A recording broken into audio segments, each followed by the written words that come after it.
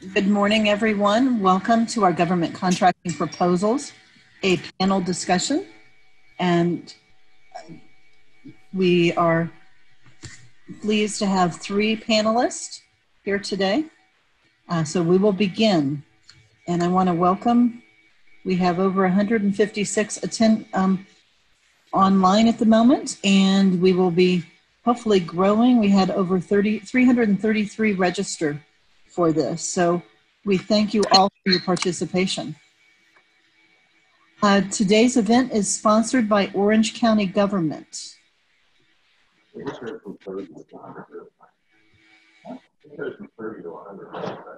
Uh, we need to mute someone. Please, everyone, stay muted. Uh, this, is, this is a panel. For the best viewing experience, please turn off video participants by clicking the caret next to the start video, the video settings, go to meeting section, uh, click hide non-video participants. Please remember to keep your video turned off. The only three videos that we should be seeing are the three speakers. Uh, just a little, uh, if you have any questions, please write the questions in the chat box. We will get to them as um, at the end of the uh, three speakers. We'll do a short 10 to 15 minute presentation on each of their subjects and their expertise. And uh, please note that for recording purposes, no attendees' names or their company's names will be read or spoken. Question, um, so here I'd like to introduce our panel. I am Kara Vernon with PTAC. I am your monitor for, uh, moderator for today. We um, are very privileged to have three Space Coast speakers um, uh, talking on proposals. They are all of them have over 30 years of experience in uh, pre preparing proposals and working in government contracting. Uh, from Juliet has grants experience and others have, um, whoever's writing on the screen, please stop. Um, who, uh, we have a customer's perspective, Gary Bodovich, who um, has experience in from NASA and Air Force for his, his career of 34 years. Uh, Juliet, Writing to Win is her, is her topic. And she is a proposal writer with over 30 years of experience and a lot of grant experience. So for anyone out there that's doing grants, uh, we have an expert in our presence on grants. Um, Ed Kinberg is an attorney uh, with a, his experience uh, started in the Army and he was a JAG officer. And uh, he is also a construction attorney and government contracting attorney. And they are all located in Brevard County. Kara, before we begin with Gary, um, I know Ed wanted to launch a couple polls here. So I have those ready if we want to go ahead and do those just to gauge the audience here um, and kind of see uh, where we're all at here in our journey. So We're going to launch the first poll here.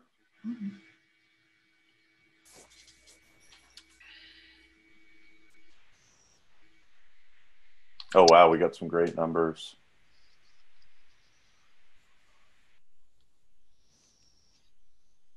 Wow. 10 plus years, 8 to 10 years. So we got a really good breadth of uh, companies here. That's awesome. I'm not seeing the results. You I'm will. about to share them here so Oh. everyone can see. Okay. Oh,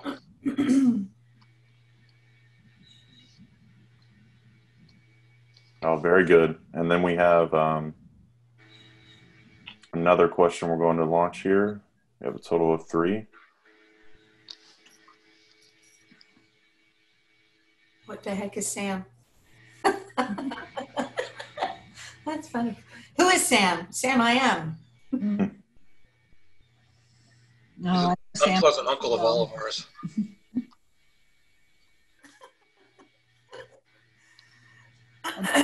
Very Good, good. experienced group here. Yes. Bill, could you show those, please?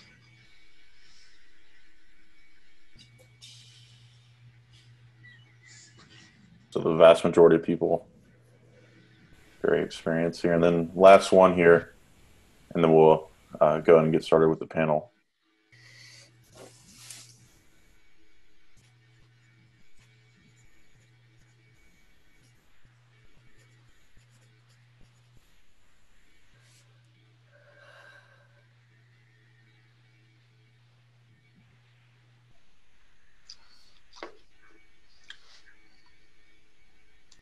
Wow.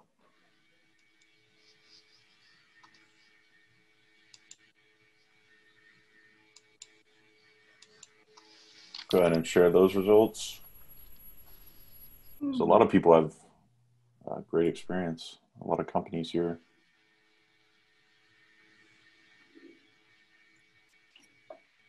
Great. Well, thank you, everyone. And um, I'd like to do that to get everyone engaged, engage the audience. But um, that was the three polls. So, Kara, back to you. Uh, the polling thing is still up.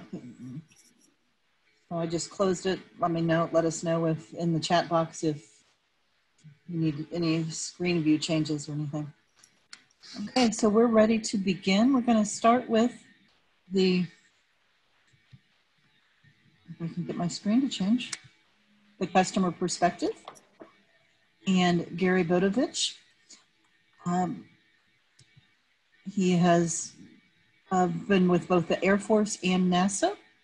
And Gary, we really thank you very much for taking your time to uh, and sharing your morning and your cup of coffee with us this morning. And um, please explain how NASA evaluates proposals.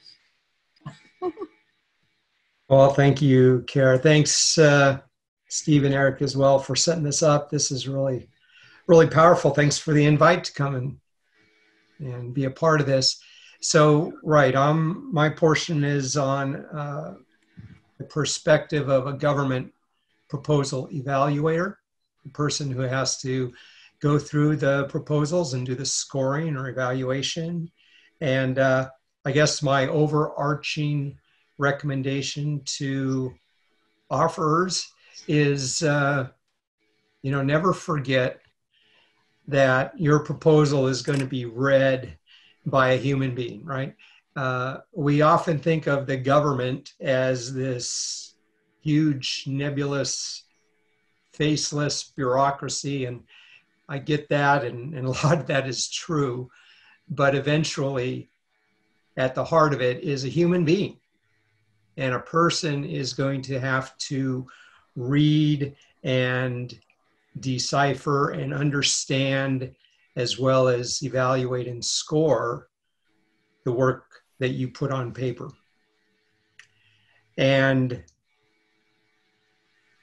I would think that if that person's job is to evaluate what you submit, then in a way, the offerer's job is to make their life easier and to make the proposal easy to understand. And all those you know good grammar good english rules apply. Make sure it's coherent and easy to follow. Uh, don't bury the important facts. That helps the evaluator. Overall the evaluator has to be convinced. That's a powerful word here. They have to be convinced that you the author understand what the task is, you understand what's involved, you understand the work, you understand the risks. So, write to convince the reader of all of those aspects. Uh, yes, there's there's going to be some fluff in every proposal, but certainly look to put in the facts. That's what the evaluator is looking for. They have to base their decisions, their recommendations on facts. So, as you're writing, I would say continuously ask yourself, why am I writing this? Is it relevant to the message that you're trying to convey? And I use a simple a simple approach of flow and traceability. Is what you're writing traceable to a requirement that was in the RFP? They asked for this, and therefore I am including this in response. Or does it flow to a benefit to the customer? I'm including this because they're going to get a benefit out of it. And if you can't trace it to a requirement or show how it benefits the customer, then ask yourself, so what? And who cares? And why am I including this?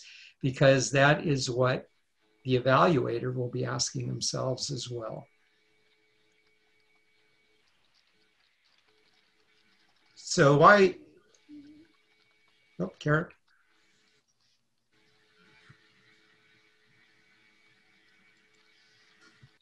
Carrie, you can go ahead and swap. I'm, I'm trying. Oh, okay.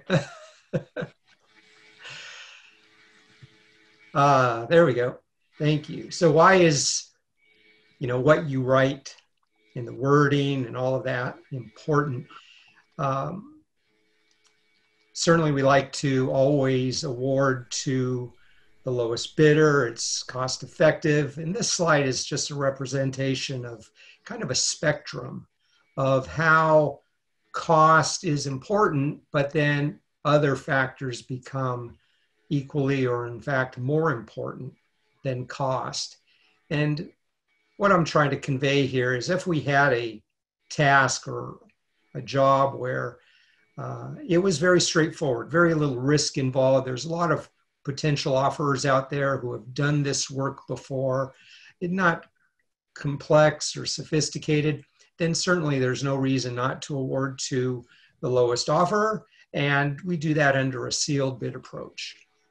But as you move to the right on this slide, cost becomes one of other factors that are considered. Maybe there's some risk associated with not being able to get the job done in time, and therefore the government has to include in the contract award decision some other criteria or some other considerations. And then as you move to the right, then you could have many, many factors and sub-factors and considerations that the government finds even more important than cost. And we get into this realm of what we call best value. Best value is simply being able to award to someone who is not the low bidder.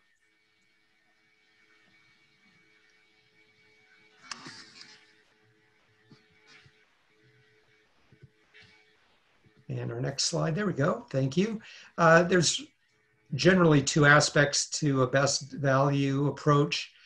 Uh, this one discusses a sort of a two-step approach, which you'll find the term lowest price technically acceptable or LPTA. And this is a little bit of a hybrid where, yes, there's a lot of bidders who can who can do the work, but there is some aspect to the job some aspect to the task that introduces some risk, and just simply going to the lowest bidder out there uh, brings brings that risk to light. So the government establishes some screening criteria. My, my cartoon there is supposed to be a screen there of some criteria where all the bidders submit, and then the government applies some criteria to establish who are qualified bidders, who satisfy our criteria. And then out of that pool of qualified bidders, simply going with the lowest bidder among them. The important thing to remember about LPTAs is that the criteria is not scored or ranked or anything like that. The criteria is very discrete. It's pass, fail, and you must pass every single one in order to get on the other side of that screen. And so it's absolutely imperative that you satisfy every single criteria and even more important to convince the reader that you satisfy every requirement. So again, don't bury that anywhere. Make sure it's plain as day to the evaluator, whether it be a checklist or you asked for this, here's the criteria. Yes, I absolutely satisfy that criteria, and here's my proof. Simple. Leave nothing to chance there. Elsewhere in best value, we get to this trade off approach. And it scares some people off. It's the most complex, complex approach to, um, to contract awarding. But again, all it really means is that the government can award to people who are not the lowest bidder, that there are other factors and sub-factors and considerations out there that could be significantly more important than cost. And in order to go through this acquisition process, the government needs to do an extremely thorough evaluation of the proposal. So if this is the type of, of award that you're participating in, be prepared for the government to really tear apart and look at every paragraph, every sentence, even word choice can be important. Hey, Gary, Yeah. somebody asked, is this similar to Go No Go? Juliet? Because I'm curious how also. Jul- Juliet, please save all questions, even from you and Ed, Oh, okay, sure. till we get to the panel discussion. Thank Sure. you. Okay.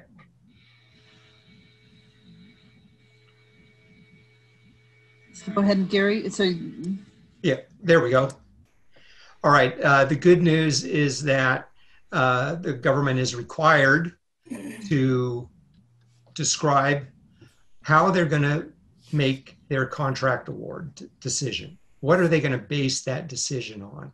And that's included in the RFP. Section M is the evaluation criteria that the government will use. And here they list their factors and sub-factors and of course, cost is always a consideration. It may not be the most important factor, but it's always a consideration. But there could be a request for what's your technical solution, or what's your management plan, or who are your key personnel, and what is their skill set, or do you have a quality plan? There could be multiple other factors out there, and they'll all be listed. The government is also required to talk about what we call relative importance. all relative importance means is that out of all that multiple factors and sub-factors, they're not all looked upon equally. Some are more important than others, and they are required to tell you what are the most important factors. How do they compare to each other? They're not required to divulge their exact maybe weights or or things like that or their exact methodology, but they are required to tell you, for example, the technical solution is more important than your quality plan, or the safety plan is more important than cost, or words like that. And that can be used to help you write and establish how do you want to um, assign that valuable real estate in the proposal pages, certainly you want to spend the most time and effort in pages talking about those factors the government looks upon as the most important to them. When we get to the evaluation phase, well, those same evaluation factors and criteria that are described in section M that's what is used for the evaluation. The evaluator is given that same section out of the RFP. They don't come up with new criteria at this stage. And again, they're always asking, does the offerer, has the offerer convinced me that they truly understand the work, that they understand what it is that they're undertaking there? You have to convince the reader. And the best way of doing that is well, number one, don't simply reiterate the requirement right back to them. They know what the requirement is. They need a house. You can't say, okay, I'll build you a house. They want the details. They need the details. Convince them that you have done this before, you understand the work, you know what risks are involved. And if you understand what can possibly go wrong, here's the plan for what if that comes to pass? How do you mitigate those risks? And making claims is not going to work either. Everything has to be substantiated and backed up with facts. Remember, they may have a stack of proposals to read, and everyone's going to make similar claims as to why they're the best. So you have to make sure that you have backed everything up with facts. And finally, don't leave them with more questions in their mind. What if this happens? What if that happens? Try to be thorough, complete, and address all their concerns and not leave them with more questions. Just so a little bit about the evaluation itself. Um, sometimes people are a little skeptical how that's done. Uh, it's important to remember every proposal is evaluated separately, all by itself, only looking at the evaluation criteria. That human being who's been assigned to do that evaluation, perhaps as part of a team, they're going to go through and look at the criteria. They'll address strengths, cite any weaknesses. There's probably some sort of a risk assessment. They may give a score or maybe just a color coded assessment. Is it green? Is it yellow? Is it red? But the proposals are not scored compared to each other. In fact, everything is locked up and only one at a time do they get released. And it's not evaluated as a team, it's evaluated by individuals. And then when everyone is done, then they get together to reach consensus. Consensus is a difficult process as well. And it's not as simple as, well, you gave them a five and you gave them a seven, so let's just give them a six and be done. Two people looking at exactly the same words, the exact same criteria. One said five, one said seven. Why? That's the purpose of consensus. They have to explain, perhaps defend their position, and share that information that they have gleaned from reading your proposal. And eventually come to consensus where everyone can agree on what that score should be. And then finally, again, the evaluator really is looking for details. Imagine that the evaluator is trying to build a case for selecting you above all your competitors. They need a strong position and they need facts. Again, not simply reiterating the requirement, but substantiating claims and supporting information. Ask yourself when you make a statement well who why where when you know what is the process what are the risks convince the reader that you really have a firm understanding of what's going on and a good solid approach so the question of course is always well how much detail do they need and unfortunately all i can say is well enough to convince the reader right um, but use things like relative importance to judge how much detail you need to put in, again, that valuable real estate of your proposal pages. If it's the most important factor, then certainly spend a great deal of effort in the details, in the weeds in that area. And if it's least important, perhaps not so much. Page limits, hopefully, if they said a 30 page limit or a 20 page limit, that didn't simply come out of thin air, but that was based on how much information and detail they're looking for in order to make their decision. So if it's a 30 page maximum limit and you're struggling on page 20 to generate more, then you're probably not giving them the level of detail that they needed to make that decision. Subsequently, if it was a 30 page maximum and you're on page 40 already, you may be going a little bit further into the weeds than what they envisioned. Anyway, that's a little bit about the proposal from the evaluator's perspective. I think I'm turning it back over to Kara at this point. Thank you. No, thank you, Gary. That was really wonderful. Great insight into how uh, the government uh, looks at the proposals. Um, now, for our next speaker, we have Juliet Fletcher. Um, we'll be discussing Writing to Win. Uh, Juliet has over 30 years of writing proposals, and um, both in the defense industry and in uh, government grants. Um, for nonprofits. Juliet? Good morning. Excuse me for being a rogue presenter. well, so I want to follow up with what Gary was saying. I made a couple notes. Um, one of the things that is so important is to understand that no matter what you're doing in proposals, it's persuasive writing. And persuasive writing is about trying to get somebody to do what you want them to do, right? Or agree with you. Um, so, this is, we're going to look at the screen for a second. I want to talk about two things. One is grants versus government contracting. Both of those are persuasive writing. They operate in a different way. Um, grants are different from government contracts, and we don't need to go into all of that.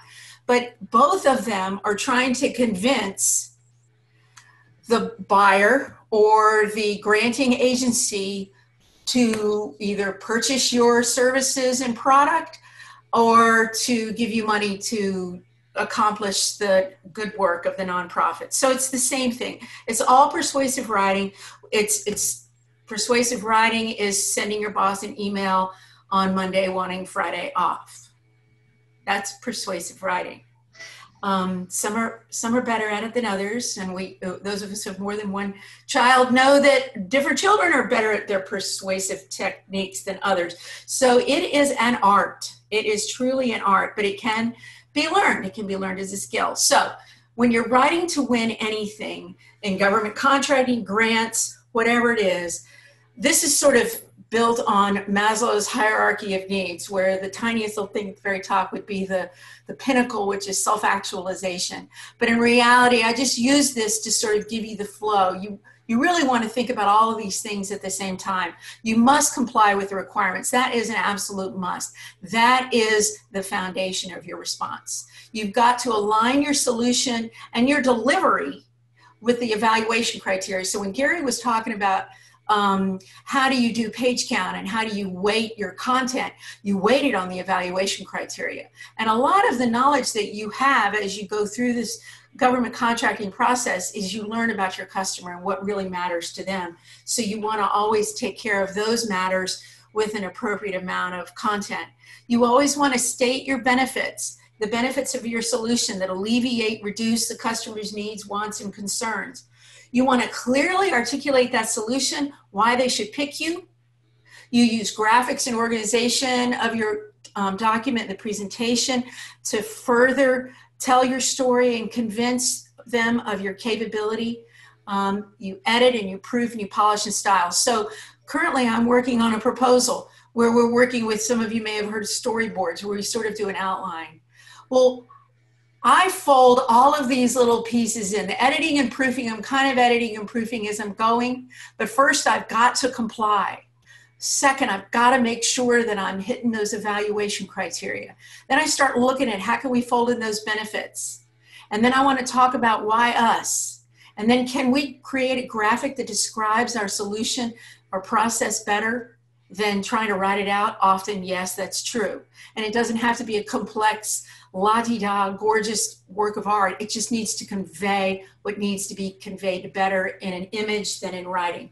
And then you edit and proof and make sure, like Gary said, that your punctuation is correct and that your grammar is right and that you've spell checked and particularly that you haven't taken boilerplate from another proposal and left that other customer in the proposal. That's a tricky one. And I think most people who work in Word um, MS Word know that there's a fine. So I suggest that you always, if you're using boilerplate, as soon as you put it in, type in however you use that other customer's name and do a replace with your um, new customer and then you polish and stop. Okay, so the next, so I was designated the one to just talk a little bit more specifically about the um, RFP itself. Whether it is a um, municipal, county, state government grant application um, or um, formal RFP from a um, prime contractor for you as a sub or from a government agency, there's certain things that are going to be in it. One is going to be a, a statement of work, which is saying, what is the work? What are you supposed to be doing? And how long is it supposed to take you? And who you're supposed to do it with and what's what is the customer going to supply you and all those kinds of things. What kind of um, requirements do you have to meet on conditions and notices um, with certifications and ed's the expert on that. Um, and then it will include how they are evaluating. They must include how they are evaluating the proposals um, and how the awards will be made. And sometimes you get a when they'll be made but that's not always accurate so with federal contracts, often, most of the time, not always, you have an RFP that has these key sections of C, L, and M that Gary referred to. Um, I responded to government um, RFPs that did not have a C, L, and M, and we had to kind of go hunt for it. Um, C is a statement of work, what you're supposed to do. And often that statement of work um, turns into the contract that you um, will fulfill. A lot of the um, the uh, content in there will be directed at you to tell you what you're supposed to do, and then your contract will say the same. Um, the you can go to the next um, slide. I think, yeah, C. So C, that statement of work, or sometimes called the performance work statement, whatever it's called, it's that description of the work to be performed. This is really key. you want to address and respond to every single statement in the RFP that says you will, you must, or you shall. um, in fact, sometimes it's very effective to do a find in the document on those words to make sure you don't miss anything. I actually use a red pen um, and underline the words so that when I go back through, I make sure that I've hit all those. Those are the commandments of the RFP. Those are what you must do. So we can go to the next slide. Section L um, is going to tell you a lot of different things. And one of the things it'll tell you is what kind of contract it is, what are the solicitation response requirements. You can read this. What are the requirements? How many volumes? Are there different volumes? What the, what's the page count? What font size, and, and this is this is extremely important. Font type and font size must be exactly what the customer is asking you for. You do not present a proposal in Arial 11 that says you must present in Times New Roman 12. You, you're just booted out immediately. The other thing that's critical is um, when you put graphics in, often they will say that including graphics and tables, you can't go below, let's say 11. Well, it's really hard to read below 11 point. And you have to remember the reviewer is reading oodles and oodles and oodles of, of proposals. So their eyes get tired, which is why they often use Times New Roman because that type, um, that font is much easier to read than Arial. so when you use a graphic, you need to make sure that all of the words in that graphic comply with the font requirements. Sometimes that's can be more complicated than you would believe, but it it's an absolute necessity. Um, it tells you how you submit and when the deadline is. So L is very important for creating your document and aligning your calendar and all of that. So M, M is um, will tell you the evaluation factors it's either called M or it's the evaluation factors or how we will base this award. You know, it could be said a whole bunch of different ways. Um, and it will tell you how they're going to uh, evaluate and weight the different portions of the response. So a complex response will have a technical volume. Um, this will, compliance will uh, filter through all of it. Um, there will be, there might be a risk section they may have a comment about risk, your past performance or relevant um, experience or past experience. Past performance is a, is a different um, term in and of itself that requires some other um, uh, compliance issues, but the or challenges sometimes. But um, when they say relevant experience or past experience, you can you can be a little you, you, it's a little more malleable. Key personnel is really important. I do a lot of uh, key personnel resumes, and it's extremely important to to a proposal that is a butts and seats kind of proposal where you're supplying them with people, and they that is part of how they know that they are getting a team that can do the work. those key personnel, every, you know, so they are contracting with people, as Gary said. It's about relationships. So those key personnel are truly key, important to catch all of their their experience matching the requirements to make your team look the best. And then of course there's cost, and sometimes cost outweighs everything. Then there's that value that Gary talked about. And then, you know, there's just a whole bunch of other things that go into it. But you really need to keep going back as you're writing to those evaluation factors. Are we hitting it? Are we are we telling that story? Are we looking our best? Are we nailing it? And and really and truly, those are questions that we I ask my um, clients. Is this what the customer wants? Is this what they value? Is this hitting that evaluation factor? Okay, so the next slide, please. so, writing to win, getting out of the document. For a very, very long time, we only had that top image, which is of the Earth looking at the moon. And then we flew to the moon and back again. And we got a view of this blue dot. And it changed our perspective about our planet, ourselves, our place in the galaxy and in the universe. And what I'm using that to illustrate is that it is about perspective. Before we saw that, that little blue dot, we didn't really have a sense of what it, what we were what it was like to be out in space and now we do. So it's about perspective and in writing to win it's not about you. It is not about you at all. Any kind of persuasive writing it is not about you. It's about your reader and who you're trying to persuade. So next slide.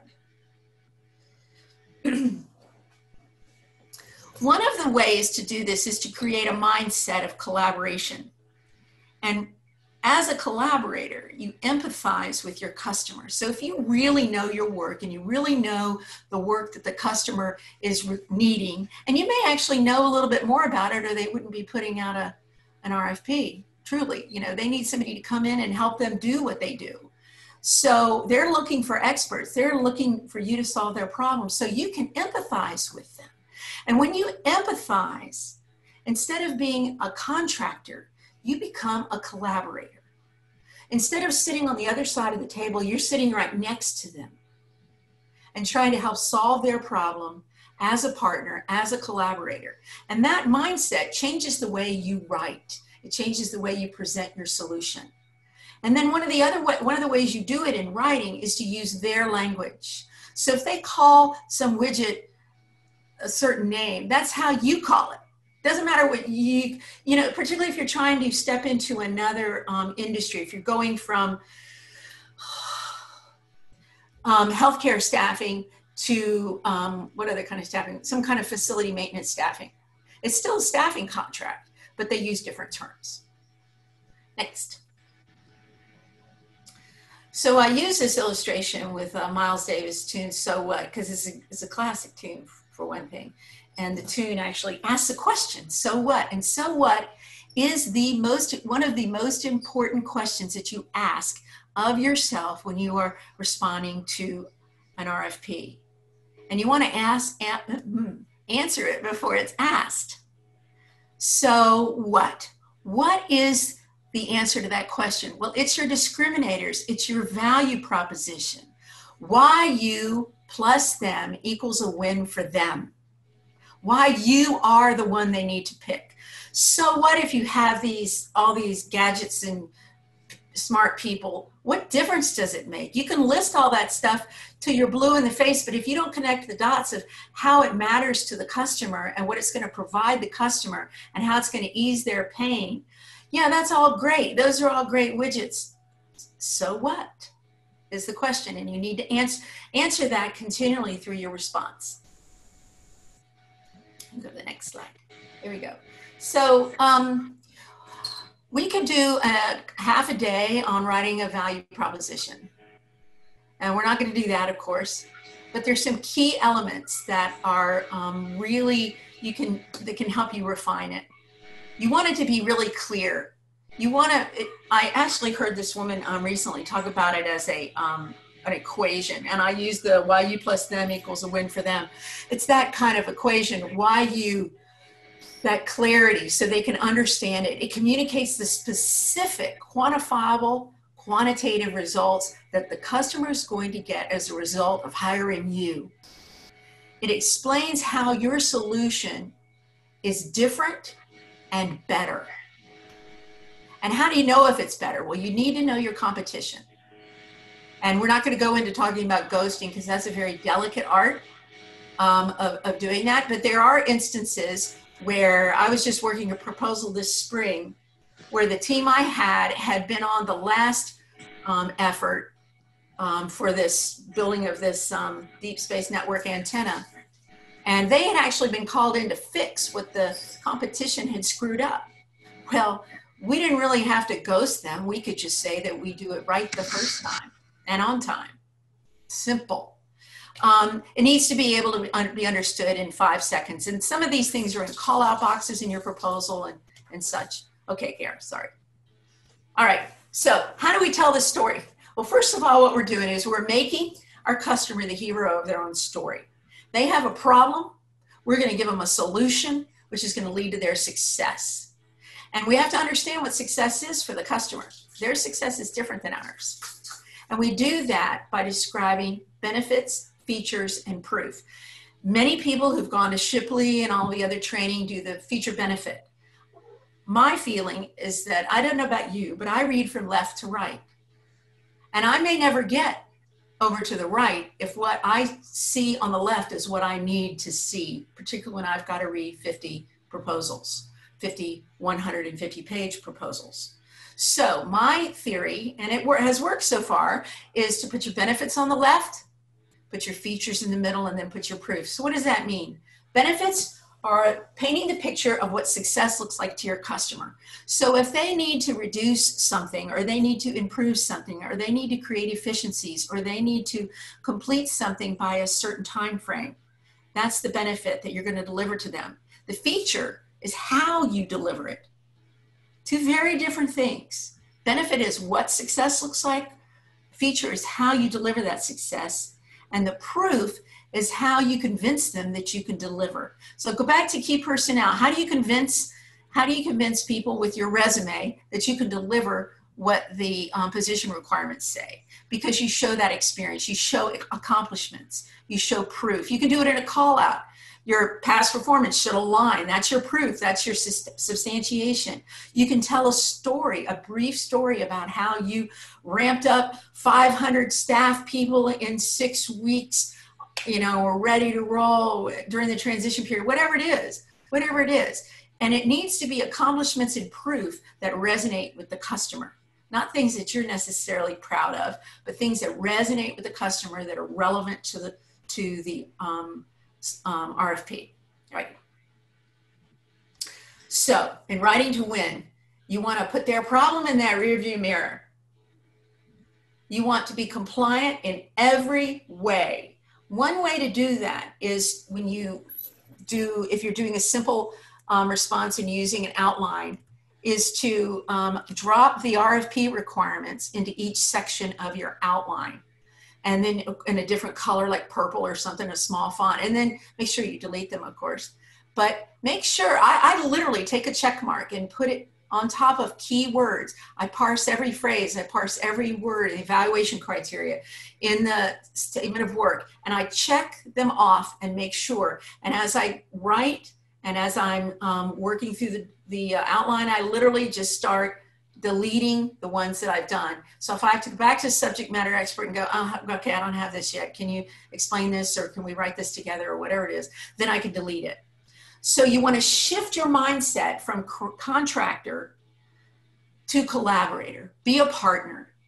Be empathetic. Understand your customer's problem and focus on that. Yeah, man, you really need this work because you've got to make, you know, you've got to make you're trying to grow, you're trying to um, um, in, improve, um, increase your revenue, whatever it happens to be. You need to put that over to the side because you're not going to get that unless you can really, really persuade the customer that you are the one. And one of the ways is by being a collaborator and a team member. So you want to focus on the customer success and that you're going to accomplish the mission some of these proposals that I write, we use um, mission certainty, accomplishment mission certainty, or mission fulfillment, um, because these things are critical. This matters to them. Um, government agencies have Congress to, re- to report to.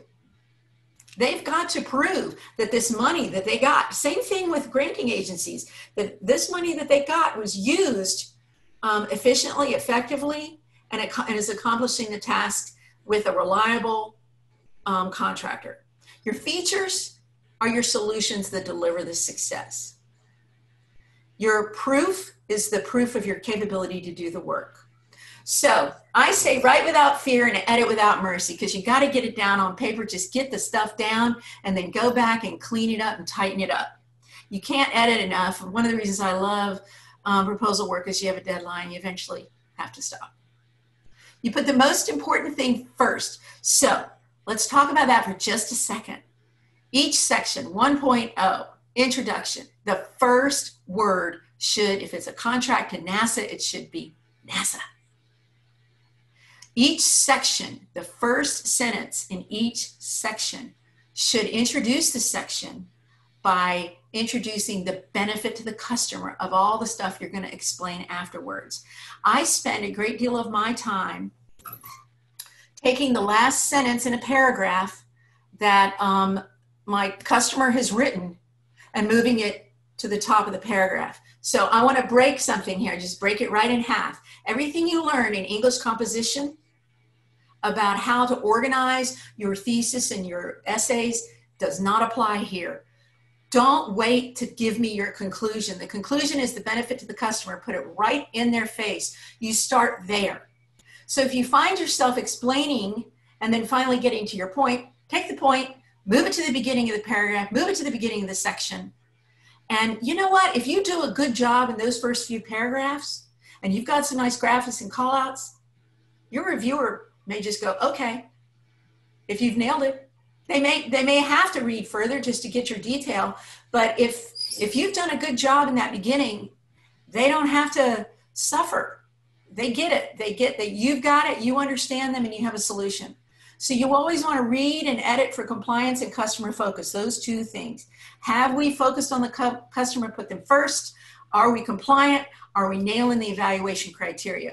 One of the methods that um, someone i used to work with um, did and it really works well, and I do it sometimes when time allows, is to screen share and literally walk through that proposal with your subject matter experts, making sure that you're accurate, you're saying things right, you want your capture manager there, making sure you've got the right customer, um, you know, till, and also all of those eyes on the document at one time, make sure you capture all your oopses, all your oopses. Um, oopses are, are a sign of not being perfect. No one's perfect, but too many oopses, too many typos, too many half finished sentences, graphics that aren't where they need to be, um, tables that aren't in the section where they really need to be, or things slip when you go to um, save it in PDF. Those make a difference. So, what's my last slide? I think we're there. We go you're never going to get perfection. You will never get perfection. There is, there's, you don't get to be perfect, but you can be very good and you can definitely um, present your solution in a very customer forward, compliant, benefit focused manner. It doesn't change your solution. What it does is tell your story better and persuade the customer. That's it. Well, thank you, Juliet. That was very informative. Um, Eric is posting the proposal template into the chat box that Juliet has provided uh, to give you an idea as to what the cover letter would look like and what a, the um, actual cover of your volumes would look like and uh, how you would organize your actual document. Um, so thank you again, Juliet. Now, on to compliance. Uh, without being compliant, you're not going to win. Or if you win and you're not compliant with doing the contract, you're going to lose money. Um, so, with that, I introduce Ed Kinberg, who's been practicing law in uh, government contracting and construction contracting and also is a retired JAG officer. So, Ed, go ahead. Good morning, and thank you for attending. And Gary and Julia, thank you for excellent presentations. I just want to expand before I start speaking on a couple of points each of them made. And one, I believe Gary talked about uh, the three C's, clear, concise, and compelling. There's probably very little more important than a clear, concise, and compelling proposal. If it isn't, the reader is going to disregard much of what you said. So you've got to keep that on focus. I used to work for an interesting uh, gentleman when I first started doing government contracts. And I would give him a document, and he would just take it in his hands and say, "Is this clear, concise, and compelling?" And if we hesitated for even 10 seconds, he'd give it back to us and say, "It's not ready for me to review yet," which was nice because I didn't go through as many reviews. I'd go back and really clean it up. But it's very hard, particularly for lawyers. Julia's probably a good one at limiting words, but you don't want to put in more words, duplicate words, repetitive words. You know, when I went to law school many years ago, they used to make us read a book called Plain English for Lawyers that was just outstanding. Um, also, um, I want to emphasize when Julia was talking about coordination, it's very important that you carefully read sections L and M, and they aren't always going to be there. She is right. Sometimes, especially in lower, less complex, complex not lower, but less complex procurements, they um, don't issue a formal traditional RFP or RFI, but they issue, I noticed several Veterans Administration contracts like this, just a, a letter almost. You have to find out what the instructions are, and you have to find out what the what they're looking for in awarding it, and specifically address it. Probably the single biggest compliance issue that I've run across with people not getting awards is that they don't answer the question asked by the government. If the instructions tell you to repeat your principal person's resume in all four sections of whatever you're writing, put it in all four sections of whatever you're writing. You've got to keep in mind that that proposal is going to be broken down and given to a different evaluators, especially for more complex proposals. Or they may just turn to that page in the section and say, okay, did they have it as a check mark? If you don't meet all the check marks, your proposal will not be seriously considered.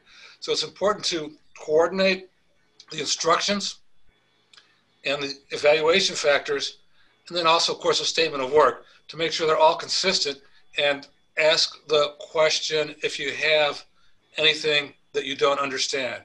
If there's an obvious question buried in an RFP, if you have an obvious question, I don't want to say buried because it's a different rule. If you have an obvious question in an RFP and you don't ask it, you lose the right to ask that question forever, and you lose the right to get any changes or adjustments to the contract forever. If they can prove, if they can establish to a court satisfaction or board satisfaction that you knew or should have known of the ambiguity in an, in an RFP, then you cannot benefit from the ambiguity later. You have to ask it. So don't play games and guesses with unclear provisions. I know many of you may be concerned about leveling the play field, playing field because others may see your interpretation and act accordingly, but it's the only way to protect your award. Uh, finally, I want to mention a, a, the primary website that I use, and I check it several times a week, is W-I-F-C-I-N, with Whiskey India Charlie, um, Con, Charlie, Oscar, November, wifcon.com. Wifcon.com is one of the best websites I've ever worked with. It's a free website. I'm not even sure who does it. I've looked for the owner a couple of times and can't really figure it out. But it has all the daily updates to everything. It has regulations, it has executive orders, it has the FAR regulations, it has the sub regulations, it has bid protest decisions, one of the interesting things about bid protest decisions is it, it can sort them by FAR provision. So if you have a FAR provision and you're not sure how you respond to or what it means, go to WIFCON, go to the protesting cases button, and skip, click on the FAR provisions, and it will uh, bring up a list of those cases. Now, onto my slide. We're talking about different, different uh, I'm sorry, Kara, go back one, please is we're talking about compliance with certifications and FAR clauses.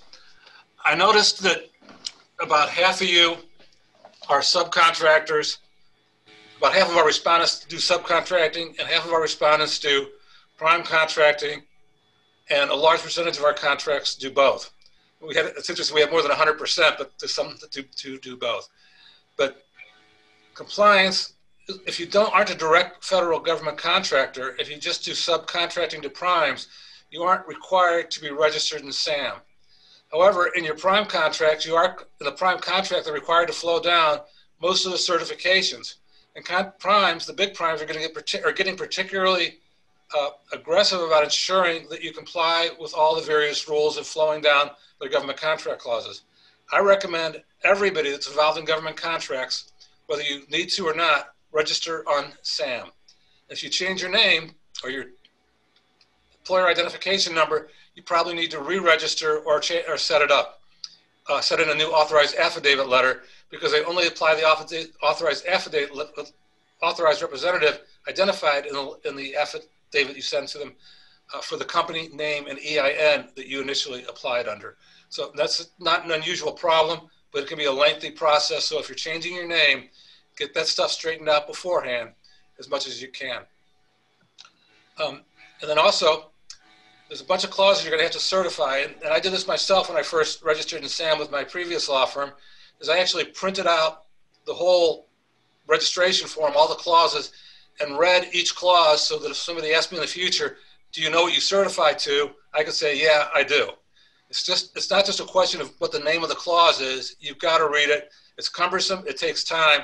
But if you're a small business, especially if you're getting start just in your first couple of years, it's a lot easier to do it now than it is to do later.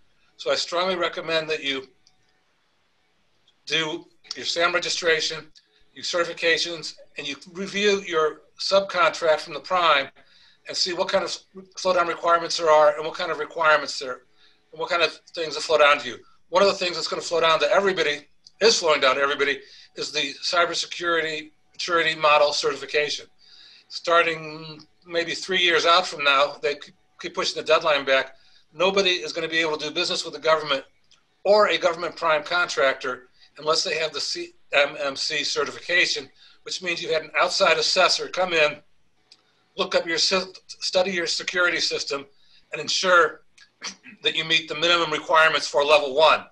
If you do higher level projects, you might have to get into levels two, three, four, or five. But it's absolutely critical. You cannot work as a government contractor starting in a about three years, starting now, but overall in about three years when it's fully implemented. Right now, it's only being implemented on certain contracts. And then also keep in mind, you have to have appropriate business systems. I know as a small subcontractor, it's easy not to worry about having a CAS compliance system or a government FAR accounting system, but it's much, much easier and safer to set up your accounting system to match the FAR requirements before you start doing business or as you start doing business. Uh, I recommend getting a, a an accountant that has experience with government finance and set up your cat, your categories and codes correctly so that you can get that information if you need it because you always remain subject to audit for up to seven years after the final invoice for the project is submitted. And then of course, appropriate business systems means you have an ethics policy, that you have quality control policies, and all the other stuff that you need. Uh, compliance in government contracting is everything. And uh, next slide, please, Kara. I read a great book years ago. It's available on Amazon. It's only about oh, 50 or 60 pages called Ethics 101 by John C. Maxwell. In that book, he says he has one principle. And I, I love it because we see all these compliance policies for government corporations that are pages and pages and pages. Nowadays, web screen and web screen and web screen with link after link, uh, talking about how they maintain their business. But Maxwell's primary point is if it does not feel right or is something you would not want a competitor or customer to do, don't do it. You know, when I was in active duty, we used to say if you don't want to read it in the Washington Post the next morning, don't do it. Apparently, they no longer give that advice, at least in the commercial side of the government business, um, non military side, because I frequently read stuff in the paper that people should not have said or done. Same applies for Facebook, Twitter, LinkedIn, don't put anything online that you don't think will make sense or look good. You only want to put positive things about yourself, your competitors, and legitimate concerns. about the government contractors. You want to develop a, a, um, an environment of ethics and compliance showing that you're a good guy, you're a good company, and you're doing your best to be a good company as defined by the government. This will help you if you're a sub just doing prime work for primes. It will help you get primes to describe that a little bit in your uh, synopsis or your documents that you give to your prime contractor to say, we are compliant with government ethic requirements. Most of the time, small businesses are not required to have an ethics statement. I strongly recommend it. Next slide, please. You know, one of the odd things about compliance, and a lot of people don't understand this, is there's government has a huge variety of tools to punish you uh, for not complying with stuff contractual, administrative, civil, and criminal. Under contractual, your proposal can be rejected. If it says in the proposal, describe your manufacturing experience, and it says to do that in three different sections of the proposal, put it in three different sections of the proposal, even if it's identical, because they may just do a checklist in clearing which proposals they're going to review. So that's a compliance issue. Make sure you give them the information. Do they want resumes of your key key players? Do they want job letters, job commitment letters? Look at it. You know, I had an interesting one years ago where um, I was representing a small business that was challenging someone's side pro- size protest against another small business who was teamed with BAE, who's a big business, and all of the job commitments were addressed to BAE instead of to the small business. And that was one of many factors that the uh, SBA looked at and said, no, we think BAE is the real party here, and we're not going to let this company be a small business. So make sure that everything shows that you're a small business, you're in control of it, that your points of contact in SAM are your small business points of contact, your mailing address in SAM is the small business address. Uh, everything is small, small, small, and relates to your company and not a subcontractor or a supplier. Um, you can lose a competition if you don't do it. You find you may get hit for is for lack of clarity, or they may not understand your proposal if you aren't don't comply with some of the principles that Gary and Julia talked about earlier. Your payments could be suspended in part or in whole if you're not complying, and of course you could have a delay in performance. Uh, any one of these things, three, last three things, two things, can cause a cure notice to be issued, which you have to answer, and that just gives you a lot of extra work to do pay attention to the government, do what they say they want to do, and even if you don't like it, if you don't like it and you think it's really stupid, tell them, I don't like this, I think it's really stupid. Do you really want me to do this? And if they say, yes, we do, then do it. That's your only option. You can do have legal options for challenging it, but it's better to try to comply with them. And finally, in contractual, the one last thing I want to mention is the most important aspect of avoiding disputes is to is is the use of the FAR in the statement of work. So many times I see people, especially experienced people like Juliet, myself, and Gary. Uh, those two probably don't do it, but I do it, and saying, "I know what FAR 52 223 4 says. You don't have to tell me." Well, you know, I never do that because I don't recall what everything is, and even though I may recall it perfectly, I which is unlikely, particularly after more than 10 years of government contracting, even though I don't recall it I'm not going to recall it perfectly. You go back and look at it, and it resolves the dispute because the state. Neither of you are going to remember the statement of work says, "Do this," or the statement of work says, "Do it, do it within these um, the, within these um, parameters." You got to go back and look at it. So if somebody starts to argue with you, either on your team or the government's team or any other team, and says, "This is what the contract requires," say, "We're in the. Let's go look at the contract and see where it requires that," because complying with the contract requirement is your only job. Not guessing at contract requirements, but complying with contract requirements. Varying from them will lose you a proposal, it will lose you a contract, it will lose you money, and it will lose you time. If you have a bad history of performance, you can fall into the unfortunate administrative issue, and there are some crossover between these, of suspension and debarment. You can be proposed for suspension or debarment for failing to comply with contract terms, submitting false claims. We're going to talk about that. False claims falls in both administrative and civil um, for a variety of things. And once you are proposed for suspension, you cannot bid on new government contracts. Or if you're debarred, you cannot bid on government contracts immediately anymore. Either one both has the same effect. Debarment is for a specific period of time. Suspension is while an investigation is ongoing. So suspensions can be lifted early on. Debarments only occur typically after an extensive suspension and you've had a chance to to fight them. Both of them give you due process rights. It is the right to challenge what the government's complaining about, but you got to go through the process. And while you're going through the process, you cannot bid new work. You can always complete work that you haven't, uh, that you have already been awarded, but you cannot bid new work.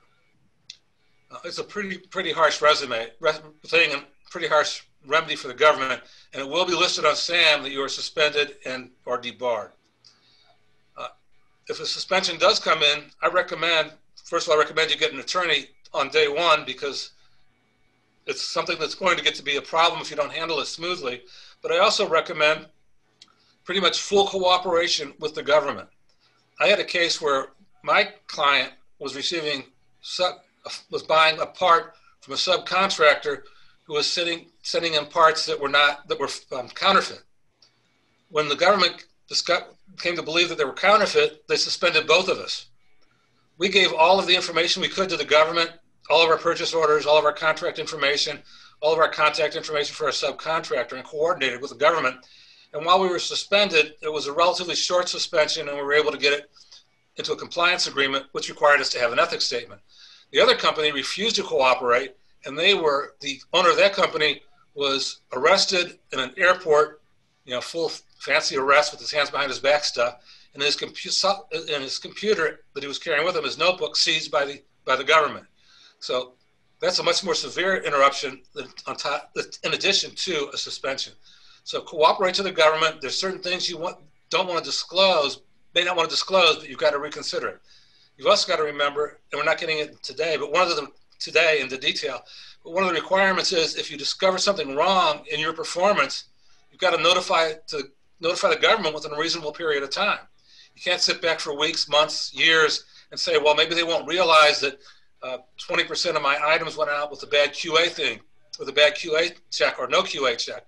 You've got to disclose it, and I have had that happen before. And the client that had the problem, it was their internal problem.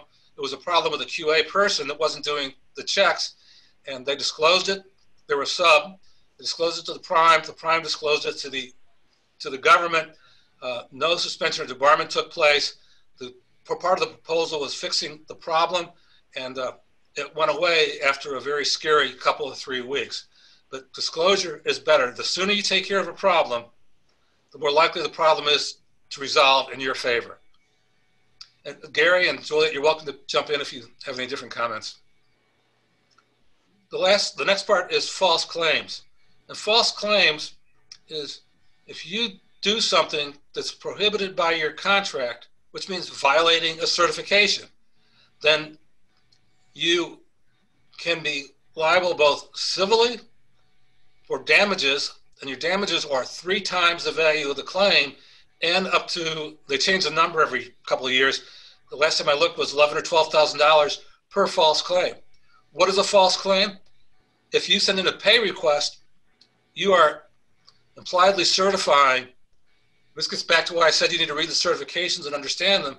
Certifying that you require complied with all the certification provisions in your contract the, or the ones that are flowed down from the prime contract. If you aren't complying with them, I mean, Buy American is an easy one, but there's a bunch of other ones in there. Um, if you aren't complying with them, that becomes a false claim every invoice is a false claim. And if it's a three year project, that's 36 false claims. And the damage to the government could be 11 times 30, the cost you could be fines for 11 times 36 plus three times the value of the false claim that you submitted. One of the biggest problems in this area is risk areas is uh, status claims. If you're if you're representing yourself as a small business of one of the many flavors small businesses we have, and you in fact don't meet the requirements for a small business, then every bid, every invoice you submit is a false claim and subjects you to punishment. So you've got to keep that in mind. If you're a small business, you need to make sure everything that you have on paper and in reality shows that these the person who's the person that's status, excuse me, there's two different things. The person, if it's a status issue, uh, disabled veteran, minority, female, whatever, that that status person has the qualifications, has the uh, 51% ownership and control. And the control is a big issue because if they don't have 51%, if they don't have control, it doesn't matter whether they own 100% or 5%. If they don't have control, they don't qualify as a small business. And if you get a small business protest before the SBA, I like them myself because the government does all the work. We just have to write a general letter with just enough meat to it to uh, get the small SBA uh, concerned enough to send out a letter to you.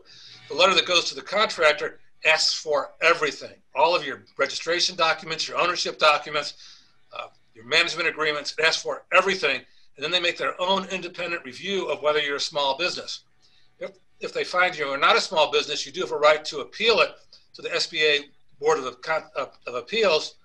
Um, and you can raise any uh, challenge any of the issues that were raised by them, but they can raise any issues they want in your packet. So you need to keep that in mind. And if you're found to be a small business, uh, not a small business, that could make your claims under prior contracts that have been that have been awarded to you false claims. So status is absolutely critical to get correct um, and keep correct. You know, some of the interesting things I see is a small business will have a mm, teaming agreement or a partnership, a, a loose partnership with a large business, and they'll put down the name and address of the large business as their point of contact for technical information. No large business names anywhere in your system. Everything first contact is the small business because it has to have absolute control. In addition to civil claim, default to um, to civil penalties, there are also criminal penalties. Criminal penalties are jail. You can you can and people have gone to jail for submitting a false claims. Well, when I was in the army, I had an interesting false claim case uh, involving Jerry Lewis truck parts.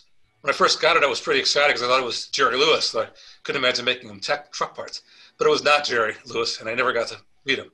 But I did find out that Jerry Lewis, and it was a blatant fraud, had already been um, charged criminally and was in jail, and we were just handling the civil part of the false claims action through the administrative system. Uh, and he had, as part of his criminal settlement, had agreed to a lifetime debarment which is very unusual. And that's our criminal side, is fines, imprisonments, and a false claim there. If you can go on to the next slide, please, Kara. So what are the basic elements of a program? And I know this seems obvious, but they're integrity, honesty, maintaining an honest business relationship, and fairness in competition. You know, one of the big risk areas for many small businesses gratuities you can only provide limited customary gratuities, a cup of coffee, uh, maybe a sandwich if you're having a buffet style lunch or you're feeding a room of people, uh, 30, 20 people that are all from different agencies and different uh, government businesses, but you can't give gratuities. I like to recommend is that you do nothing. Even though you can do customary gifts that are done in the industry, a customary gift can also get you into trouble if it's not customary. If you do want to give gifts, I would sh- suggest you check with your contracting officer and say, hey, can I send a uh, gift certificate for a $50 lunch, or I think it's $25 is the limit, $25 gift certificate for a meal or Walmart or something to the COR as a thank you for doing a great job. You can't do it, don't do it. That's everything. If you look like you're doing something wrong and you aggravate the wrong people, you're going to get in trouble. Honesty, maintaining honest business relationships, fairness in competition, and integrity. You know, I had an interesting incident back when I was in the Army. I was on an airplane, and these two gentlemen were standing in front of me, waiting to get off the airplane, and one of them introduced himself as a, the CEO of a fairly large corporation, and the other is a general in one of the services. And before I knew it, I was just listening to it because I was right there, and the general said, "Oh, my son is working as a blank in this area," and the government guy and the non-government guy said, "Oh, here's my business card. Have him give me a call sometime." I've always felt I should have stopped up and said right then, "Don't do that. Don't take that card, General. That can set you up for a problem." But it can. If I had remembered who they were, and that general's son got a job with that company that led to a potential bidding issue, that would have been a fair, an ethics violation. It also would lead to potential criminal and civil violations. So don't give anything out other than customary gifts and check the customary gift definition or with your, and with your contracting officer before you do that. Next slide, please. Importance of policies and procedures. Preventive medicine, um, your best efforts to comply, and federal sentencing guidelines. I know you think maybe kind of odd to see the federal sentencing guidelines in this group, but the, the federal sentencing guidelines are if you are being punished criminally for a false claim, your, your punishment is going to be reduced based on your good faith efforts to comply with the, the law that was the rules that were broken. That's what preventive medicine is. So even if you're a sub that's not required to be in SAM, get in SAM anyway, so you at least have the basic certifications attested to. That'll make you look better for your prime and show you're a serious government contractor. But also, it will get, make you force you to provide to apply some preventive medicine tools to your own company and your best efforts to and show your best efforts to comply. The more you try to comply, the less penalty you're going to get under the federal sentencing guidelines for procurement fraud, and the less less intense your suspension or debarment is going to be. Uh, suspension, debarments are always intense, and the more likely you are to be able to get away with just a slap on the hand, provided that you have a system in place and you can show that you take your system seriously and whatever happened was something that's just one of those unfortunate business events that just slips by and despite your good faith efforts to avoid it just happened policies and procedures are everything in protecting yourself it's easy to go online and find quality control marketing whatever kind of policies and procedures you need or um, juliet and gary i believe do you help with policies and procedures also sometimes i help i've helped write internal ones. Yeah. Yeah.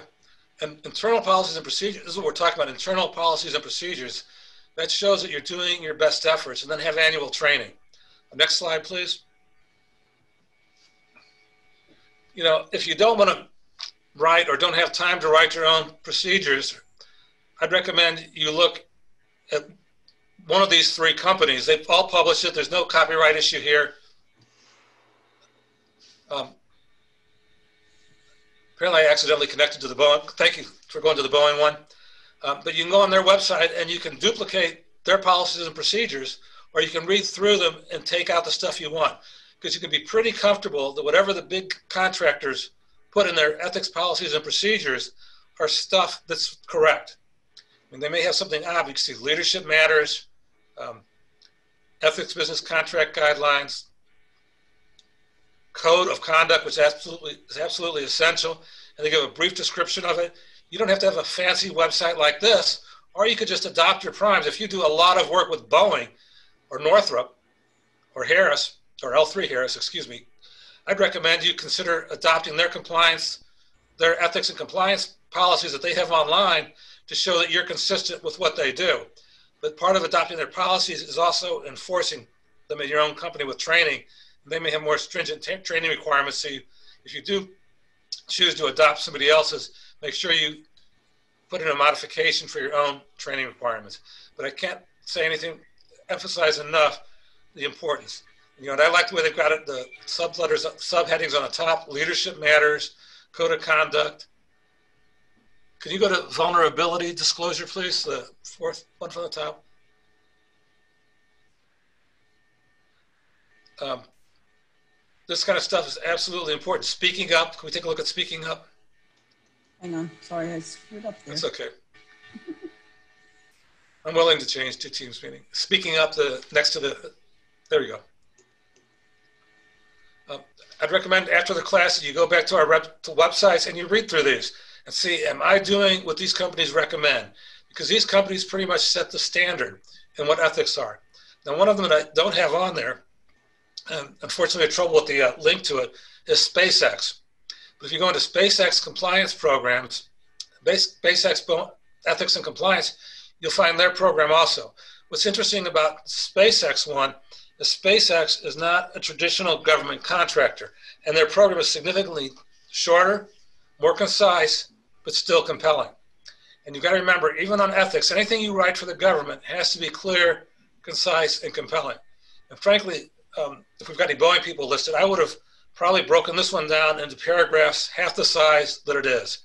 Once people read more than three or four sentences, that's basically I like to say the length of your to your first knuckle, from your tip of your tongue, thumb to your first knuckle, they lose interest in what you're reading. Break it down, make it easy to read. People are more likely to read stuff that is short and addresses the issue. And even if you have to have several paragraphs to, that seem similar, break it down. Would you, what would you say, Julie or Gary? Would you agree with that? Agree. Absolutely. There's a there are tricks to writing policy and procedures, and there's certain words and stuff that you use, and there's a lot of good stuff out there um, on that their internet that you can Google about best practices in writing that kind of stuff. The, the more clear it is, the, the simpler it is, the easier it is to um, understand by everyone. Yeah. Um, well, thank you for mentioning again, looking on the internet. There's a lot of great information on the internet. There's also a lot of garbage on the internet. So once you write your policies and procedures, it's a lot less expensive to do it on your own instead of hiring my, me or somebody like Julia to do it. Well, I don't write them, I just review them.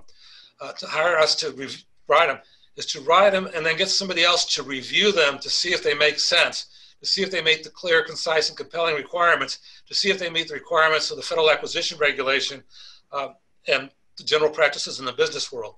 But it's always best to do it. But you've got to realize that not everything you see on a website is correct not everything you see on a website is required by the FAR, and you need to double check it because your main main issue is one compliance with the FAR. Fail to comply with the FAR can send you to jail. Your second is, is compliance with your prime contractor's codes of conduct because they can lose you a prime contractor if they find out you aren't doing it. And I, you know, I didn't mention that before, but as subs, you need to have on file your prime contractor's code of conduct and make sure that somebody in your company can say, yeah, Harris, I read it. Yeah, Northrop, I read your code of conduct. I went through it. It may have been a while, but I understand it and I realize what your obligations are. Because some of these companies uh, go further than required to by the FAR, and you want to be, to them, look as good as they do. Because ultimately, the prime contractor is responsible for all violations all the way down the chain. So if you have a a, a CMMC certification, but you aren't in fact implementing the, the, the, practice or you let it go, your prime contractor will, will be punished for it as well as you. So we're seeing, from my perspective, I'm seeing primes get increasingly particular about ensuring subcontractor compliance with both the government regulations and specific procedures and policies that the prime they have. So I'd recommend you look at one of these if you don't have a particular prime you work with, that if you have a particular prime, that you find your particular primes, publish statements, or they don't have them published on the internet, send in an email to them and, and keep a track keep track of the email, keep a copy of it so you can show, show that you um, sent it, asking if you can get a copy of their policy, their code of conduct, business conduct, whatever they want to call it. You know, one of the interesting things that I do for self-protection that I recommend to everybody is when I write somebody send somebody a question or summarize a meeting or what I think a policy should say, my last line in my email is always, if your understanding is different than mine, please let me know.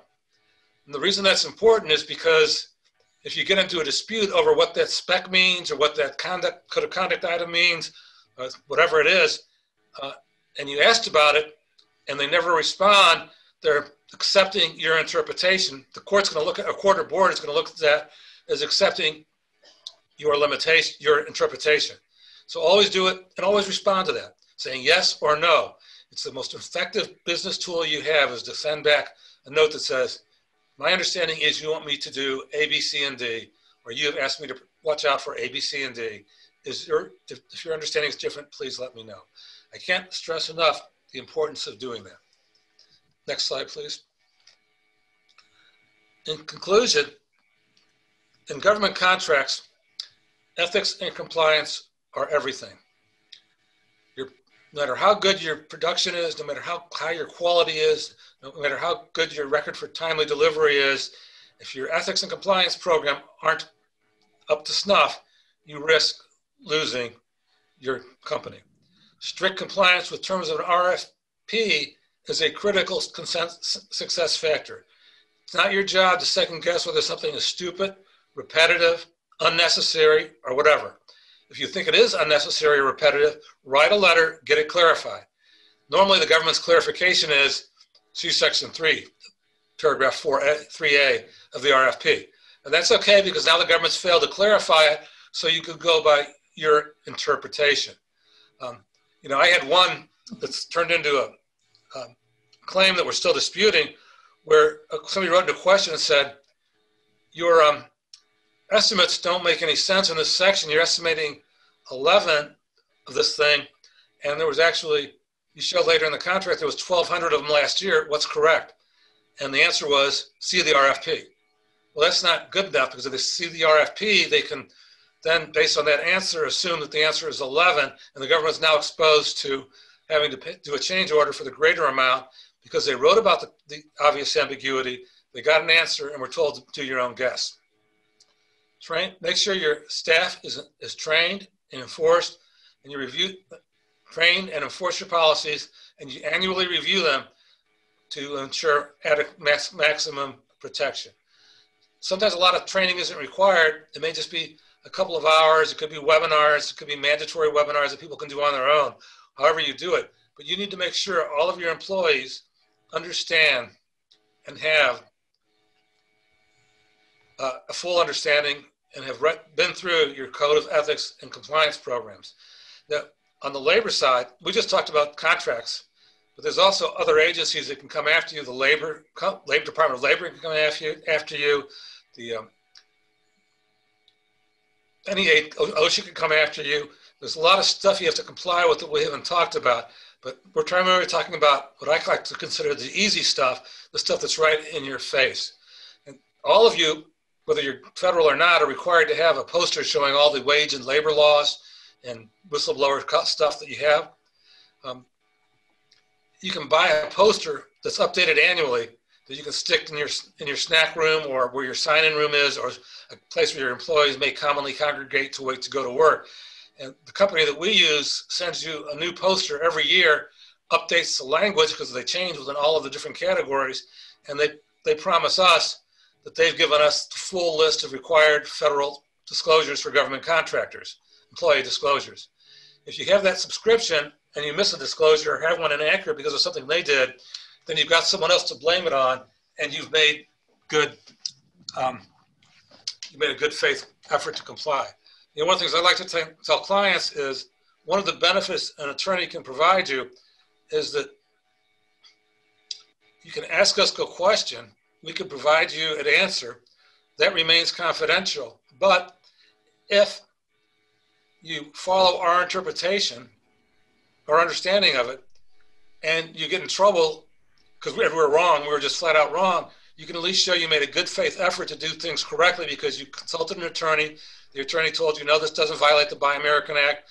No, that's not unethical. No, that doesn't violate your terms, your terms and conditions. That doesn't, that complies with whatever we tell you. Uh, and we don't always tell you that it complies. But you've gotten that outside opinion, which gives you an extra layer of protection and also helps you from making obvious mistakes because you've gone back to an attorney and you're kind of scratching your head like this saying, well, I'm not sure what this provision means or what I'm supposed to do here, or it looks like I'm going to run late or run over over budget. What do I do? You don't have to worry about that if you contact somebody.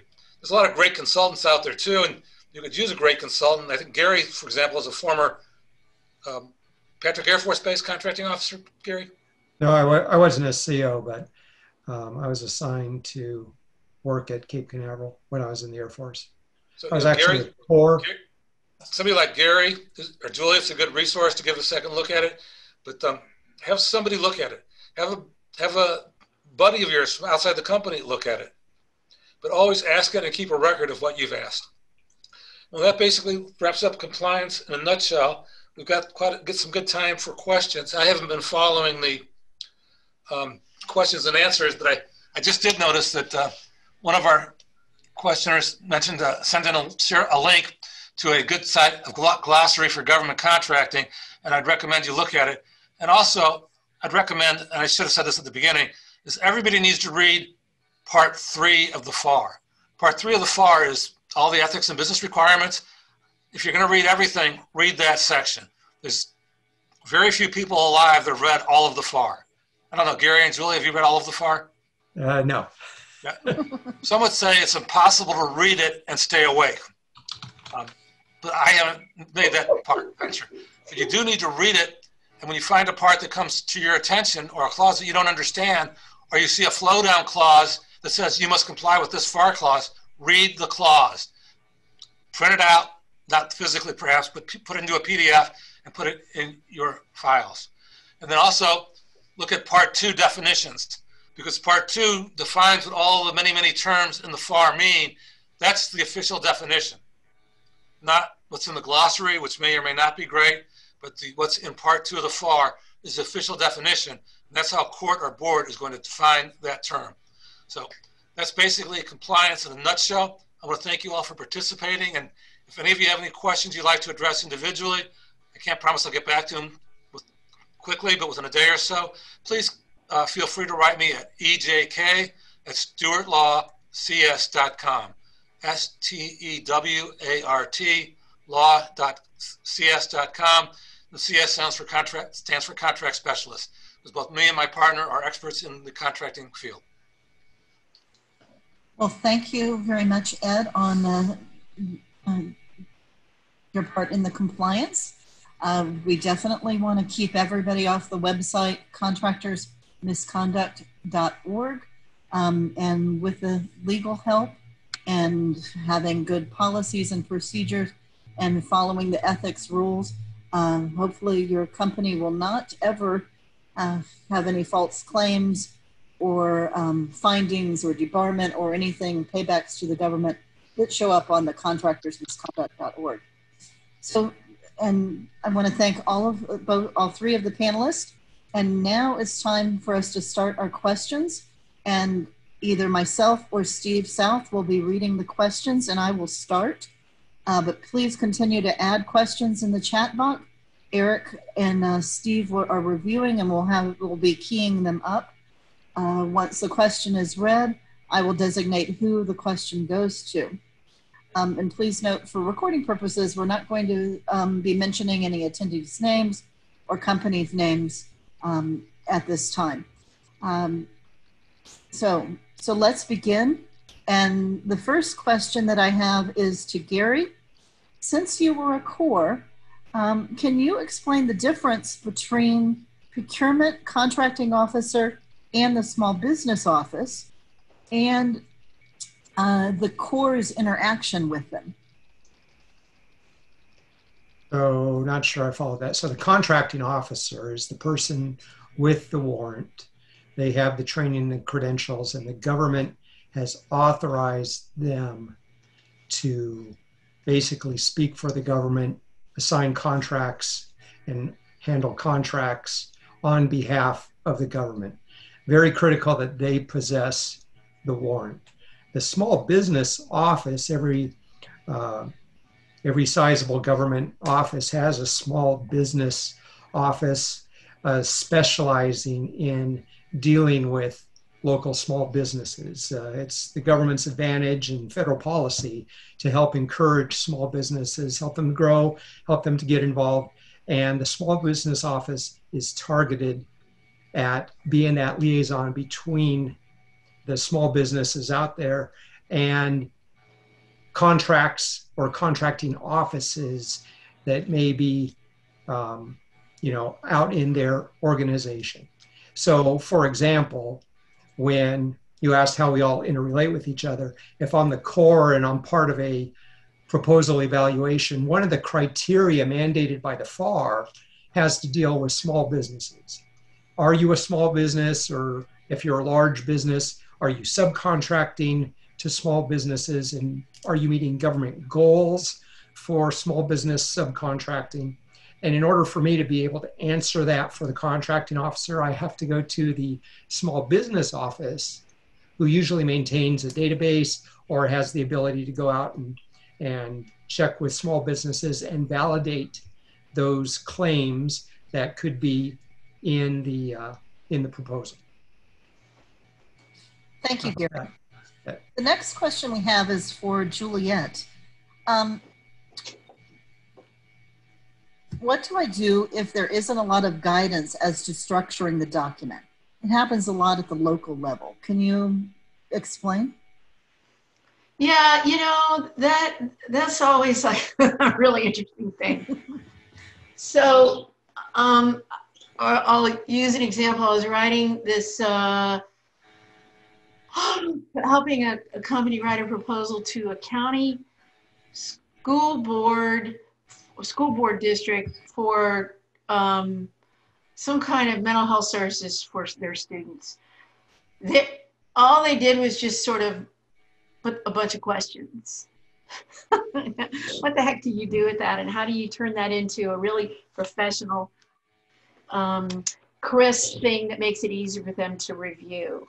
So they also had some evaluation criteria how they were going to pick them and and the client knew them and knew what they needed. So I began with that. What were the key things that mattered to them? And then I made sure that, and, and I structured it that way. This is, I don't know if this really answers your question or not.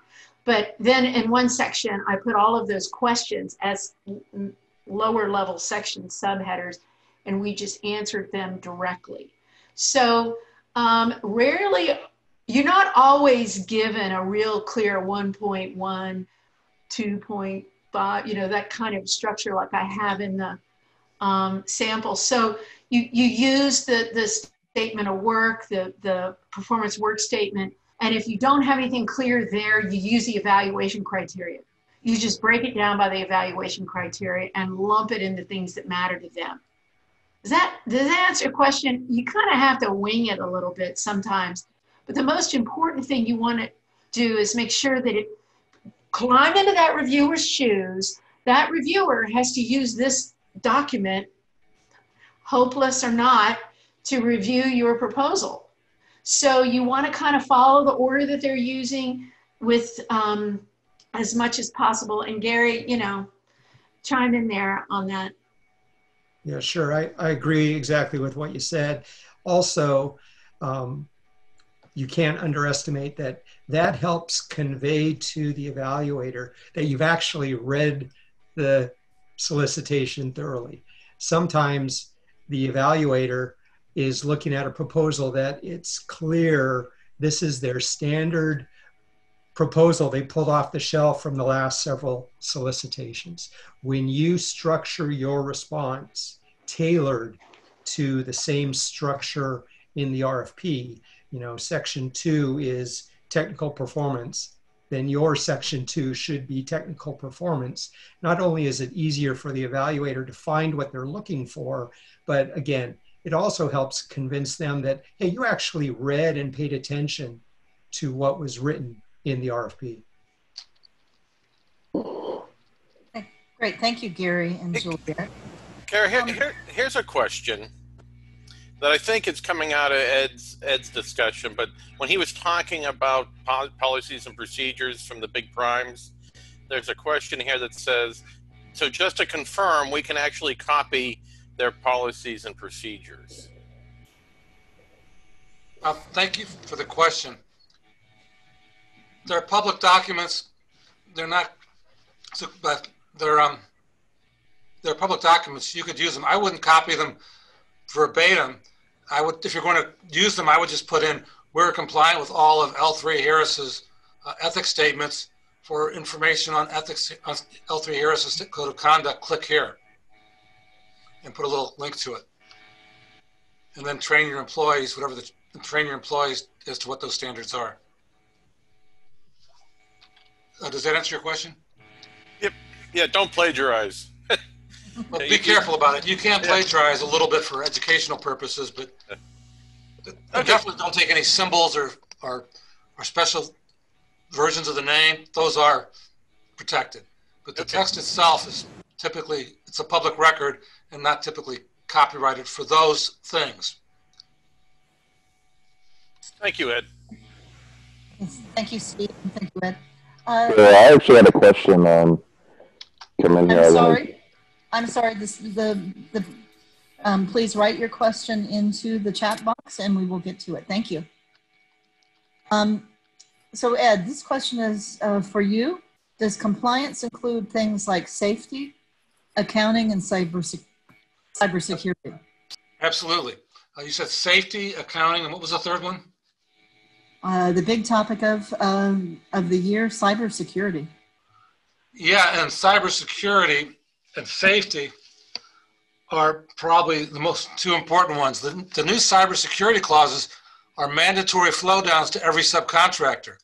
And before long, you're going to have to certify to your prime or show your prime that you have a CMMC certification. Right now, you just have to need to have, unless that new clause is in, in your contract, which is only in a few test ones that they're doing. But you, right now, you have to have had reviewed your systems and have a, have a plan on how you're going to come into compliance. Once you come into the new program, the CMMC program, you're going to have to be in actual compliance and in compliance and certified by a, by a, a licensed assessor, which are in the process of creating, uh, that you comply with it. So the answer is they are all mandatory flow down. Safety is a mandatory flow down. Quality control is a mandatory flow down, is a flow down. Because remember, your prime is responsible for the quality. And if they get dinged on a quality control item and it's because you didn't look for a certain item or you didn't comply with it, it's going to come back to you. So you really need to apply this compliance concept to everything you do. But cybersecurity would be, would be most important. Also, I've got to keep in mind that when we talk about like safety, that OSHA, independently of the federal, independent of the FAR, OSHA can come in and do inspections and find an OSHA violation. If you're doing outside work, OSHA has people that drive around and just look for violations and then stop and write up citations. That doesn't happen very often, but we do see it on construction sites from time to time. So, yes, you have to comply with everything. All right, here's uh, here's one. It's a little customer or business specific, but I think there's a, a general theme here that could be useful for everybody. They give the hypothetical question: If you are a woman-owned small business, and after you win the contract, the woman dies or becomes disabled and is unable to be in control, is the contract still okay? Do you have to inform the entity of the situation? So I think that would apply to woman owned or HUBZone or any of them. So what happens if something, uh, uh, you know, if the if the uh, qualifying person dies or becomes disabled? It the answer applies to all of them. It would have no impact on contracts that were awarded. It may or may not have an impact on uh, quote requests under an under an IDIQ or master, master contract agreement if they ask you to recertify your status. Um, and it could affect, it will affect your bidding on new contracts where you're certifying that you're in control.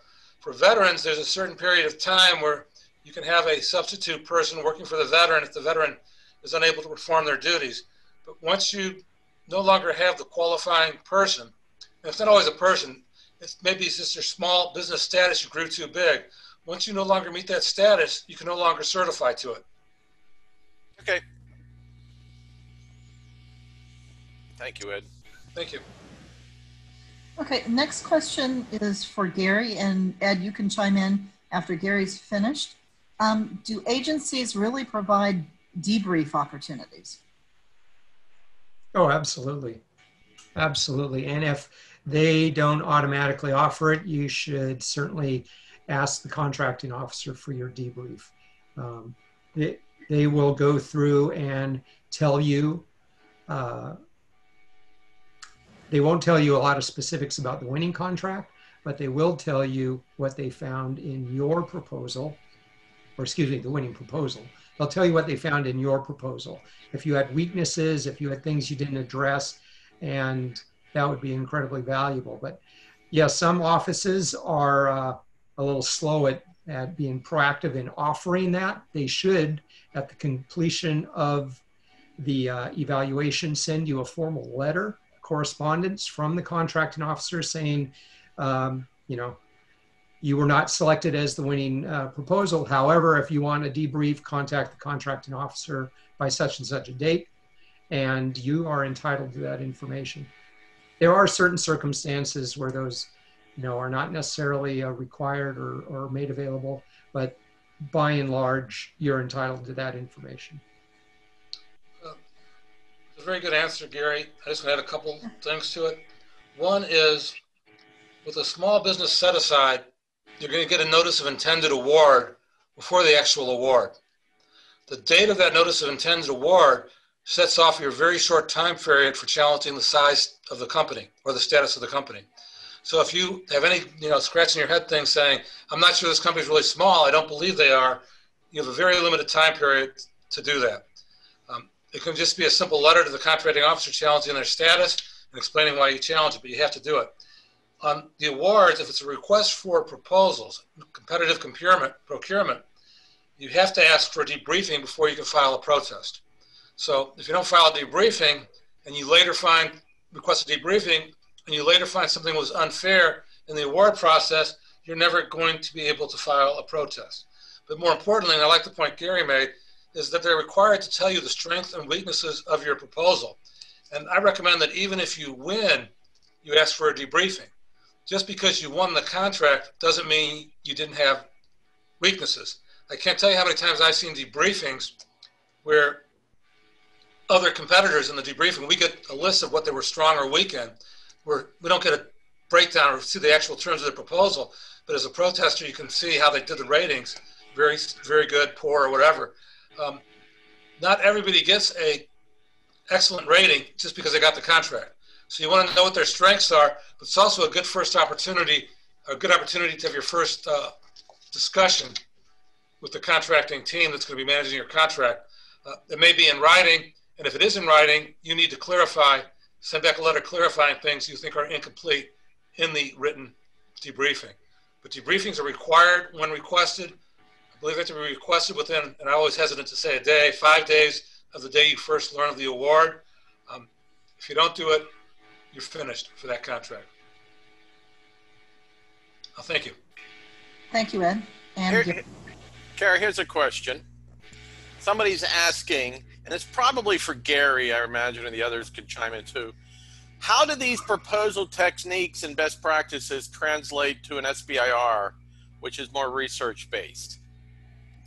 Is that anybody, Gary, you have a sense on? Uh, Sure, I, I haven't done SBIR. SBIR is uh, Small Business Innovation and Yeah. Research, I believe, um, administered by Small Business Administration. So uh, I have not participated in those, but uh, my understanding is they're handled mostly by grants. Uh, and as they try to determine who is worthy of receiving those grants, there could very well be some, you know, follow that similar model, finding the um, criteria that they're going to use in publishing that and using some sort of uh, analysis on those evaluation criteria. It's probably a similar approach, but I don't know if Juliet has seen that in her grant work. So I'm going to try and do this as simply as I possibly can. There are three ways. I'll preface it by saying I actually had to explain this to this the company leadership that I worked for when they were looking at going into cooperative agreements. So if I had a dry erase board, which I don't, I would be able to explain it better. So here's the world of the government getting work, getting stuff done. On one side, you have federal procurement, which is the government is looking for people to provide services to the government, to do work for the government. So they hire a maintenance team to take care of the terrazzo floors in the Pentagon. All right? That's taking care of government buildings. That's just a really simple example. All right? Then on the other extreme are grants. Grants are written uh, or are put out there to look for people and agencies to do things on behalf of the federal government. In other words, procurement looks back towards government, grants look away from government. So grants work more like a science fair project where we hypothesize, if y'all remember this from children or your own high school, we hypothesize that we will achieve these results using this methodology using and using your money. and the results that you're achieving match what the granting agency wants. I hope this makes sense. There's a piece in between called cooperative agreements. Cooperative agreements are a blend of procurement and grants. They can be for nonprofit and they also can be for for profit companies. Now, to go back to SBIR, it doesn't make any difference what you're writing. If you're trying to convince somebody to give you money to do something, in my world, it's persuasive writing. So it's all about understanding what they're looking for. If you're writing a grant, you need to understand the impetus and the intent of the program. When I was writing grants for Eastern Florida State College, um, I had a copy of a um, Higher Education Act on my desk all the time. Because when we would do um, um, any kind of uh, grant that was flow down money from the federal government to state to local, we had to understand what the intent was above. Much like you talk about the FAR, that's regulatory, but when you're looking at understanding intent, you have to understand the enabling legislation on the grant side. So to answer your question, it doesn't make any difference who you're writing for or to. You are writing in a persuasive manner, looking at trying to solve the problem as you understand it for the customer, for the granting agency. So that was um, grants versus federal procurement 101. Thank you. Did that make sense to everybody? I don't know. Let me throw something in there too. There's also a category called other procurements, which have may or may not apply various different FAR rules. But an SBIR proposal is very similar to an unsolicited proposal. And you can't submit unsolicited proposals saying, this is what we'd like to do for you, this is why we think you need it, and this is what it's going to take to get it done. Just because it's not been solicited doesn't mean you cannot propose it. You do need to mark unsolicited proposals as proprietary information, as you should in your RFP with all of your technical stuff. But you can submit unsolicited proposals, and those can lead to a contract award. But regardless of what you do, you have to make sure, well, particularly important in unsolicited proposals, is you have to make sure that your first couple of paragraphs clearly, clearly, clearly, I can't say that enough, identify the government's need and how you are specially positioned to make it. Other procurements, uh, unsolicited proposals are generally focused on things that the government doesn't normally request proposals for, but you have a unique approach to. It's not that different than an SBIR. The SBIR, the government asks, puts out a general request for um, for proposals, and but an unsolicited one is kind of they're kind of the same thing. You're telling the government that you can meet a specific need, you can meet a need in a way, meet a way, meet it in a way that's unique, and that the government will save money or get better product for some reason. So you can't do that, but the same proposals apply across the board. Uh, thank you, all three of the panelists. Um, just as a time notice, it's uh, 10.57 a.m. I, can the speakers continue on for another 15 minutes to ask? I'm good. Is everybody, uh, are all three of you good to stay past our designated time? So let's continue. Steve, do you have additional questions you would like to ask?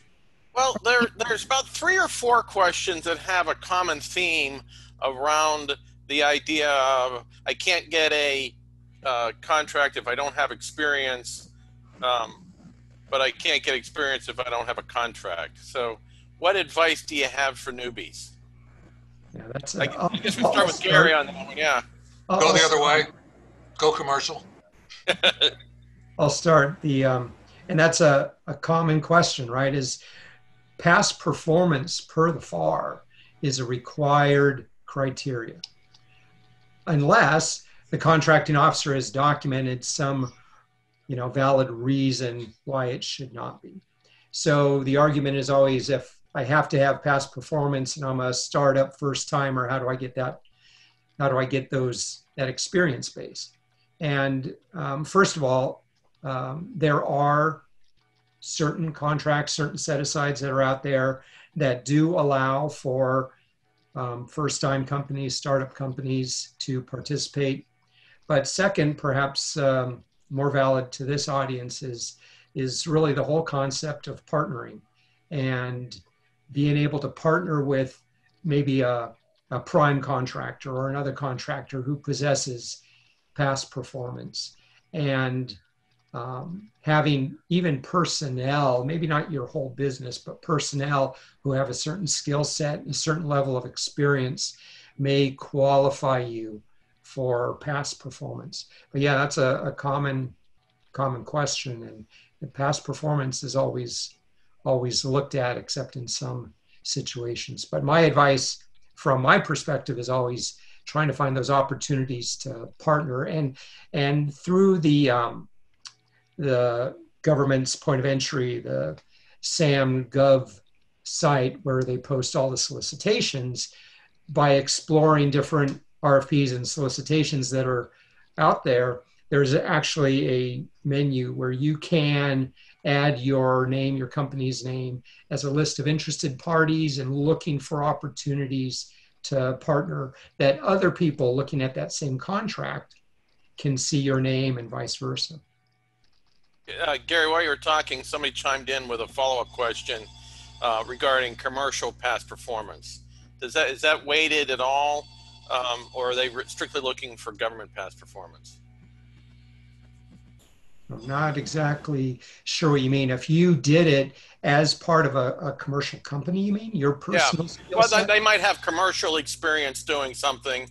Um, how does how does somebody like you in the in the reviewer role evaluate a purely commercial past performance um, situation? Well, yeah, Gary's well, it, Gary's it thinking like to, to to put in the, the the commercial. The government wants to buy commercial in most cases. So um, the uh, commercial experience is very wanted by the government. So Gary, go ahead. yeah, I was going to say it. Certainly, it should be spelled out in the RFP or the um, you know section M exactly what they're looking for. But in in procuring commercial services or products, it may just be something as simple as how long they've been in business, or um, you know, there's also a government database that's out there where contract offices um, archive past performance on contractors.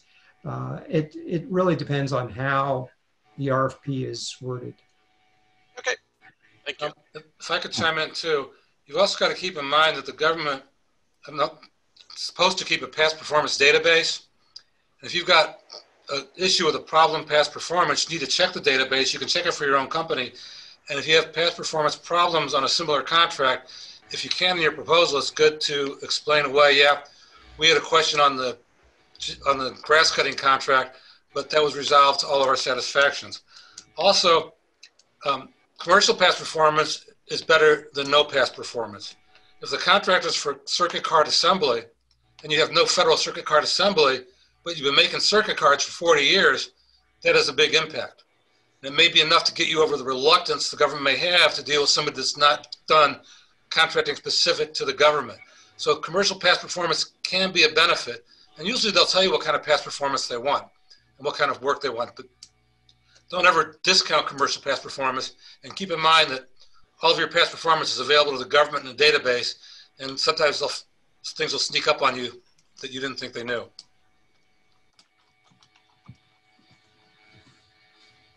Thank you, Ed and Gary. Uh, Steve, do you have some other questions? I do. Um, seems to be, we seem to be going through a Gary phase here. Here's one probably to start with Gary. but the, the question is, uh, what trends do you see related to OTAs? And how might FAR workarounds continue to be adopted? Have you worked with OTAs, Gary? No, that really doesn't apply to me, my experience. Yeah. Sorry. Other transaction, other transactions can only be used in limited circumstances, and some of the agencies are pushing the envelope because when you do another tra- other transaction, you don't have to comply with any of the FAR rules, and they basically write a new contract. So really, doing another transaction RFP a proposal kind of falls back what Juliet said about being clear, concise, and compelling. You still have to make sure you have clearly identified their needs and how you're going to meet those needs. And you need to make sure you read through all the, um, I guess many of the contractors would call them junk clauses, because there may be junk clauses, compliance clauses, and rules that don't exist in the FAR, but do exist in the OTA. And sometimes in OTAs, they adopt the FAR, and you need to know that because if they do adopt FAR clauses, you're going to need to be in compliance with them. But you should consider each OTA a unique procurement, just like a commercial contract, and each OTA has to be read and understood on its own. Like an island. It's like a little island. Um, I did a, I did one. I worked on one, a huge one for the Future Attack Reconnaissance Aircraft for the Army. Oh my goodness, for the tiny little helicopter that the Army was wanting to design, and it was a design. It was a design, and then you had to jump through all these hoops. So they had to. Fu- it functioned completely different. Like if you went through one hoop, you got a chunk of money to develop this by this point, and then everybody got reviewed. And so it's a way for them to do, and I'm not an expert, but it, it's the way for them to um, do something outside of the norm to get something that they need that doesn't fall under um, a typical procurement. Right, Ed? Yep.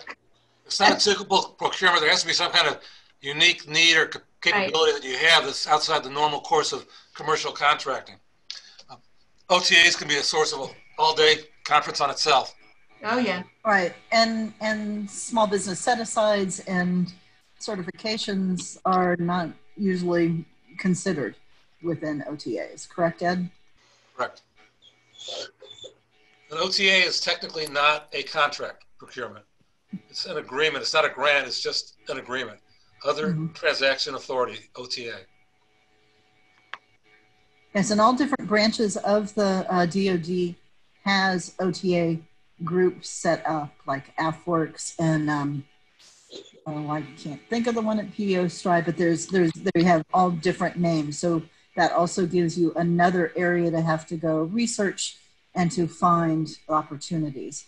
And there are to to actually get into those, you actually have to pay a small fee to be on the team to have the the um, to have the permission to actually s- reply to an OTA.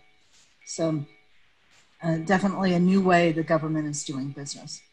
You're going to see some push to expand it because it takes a lot of pressure off the contracting people to do it that way. Um, it shortens the procurement timeline.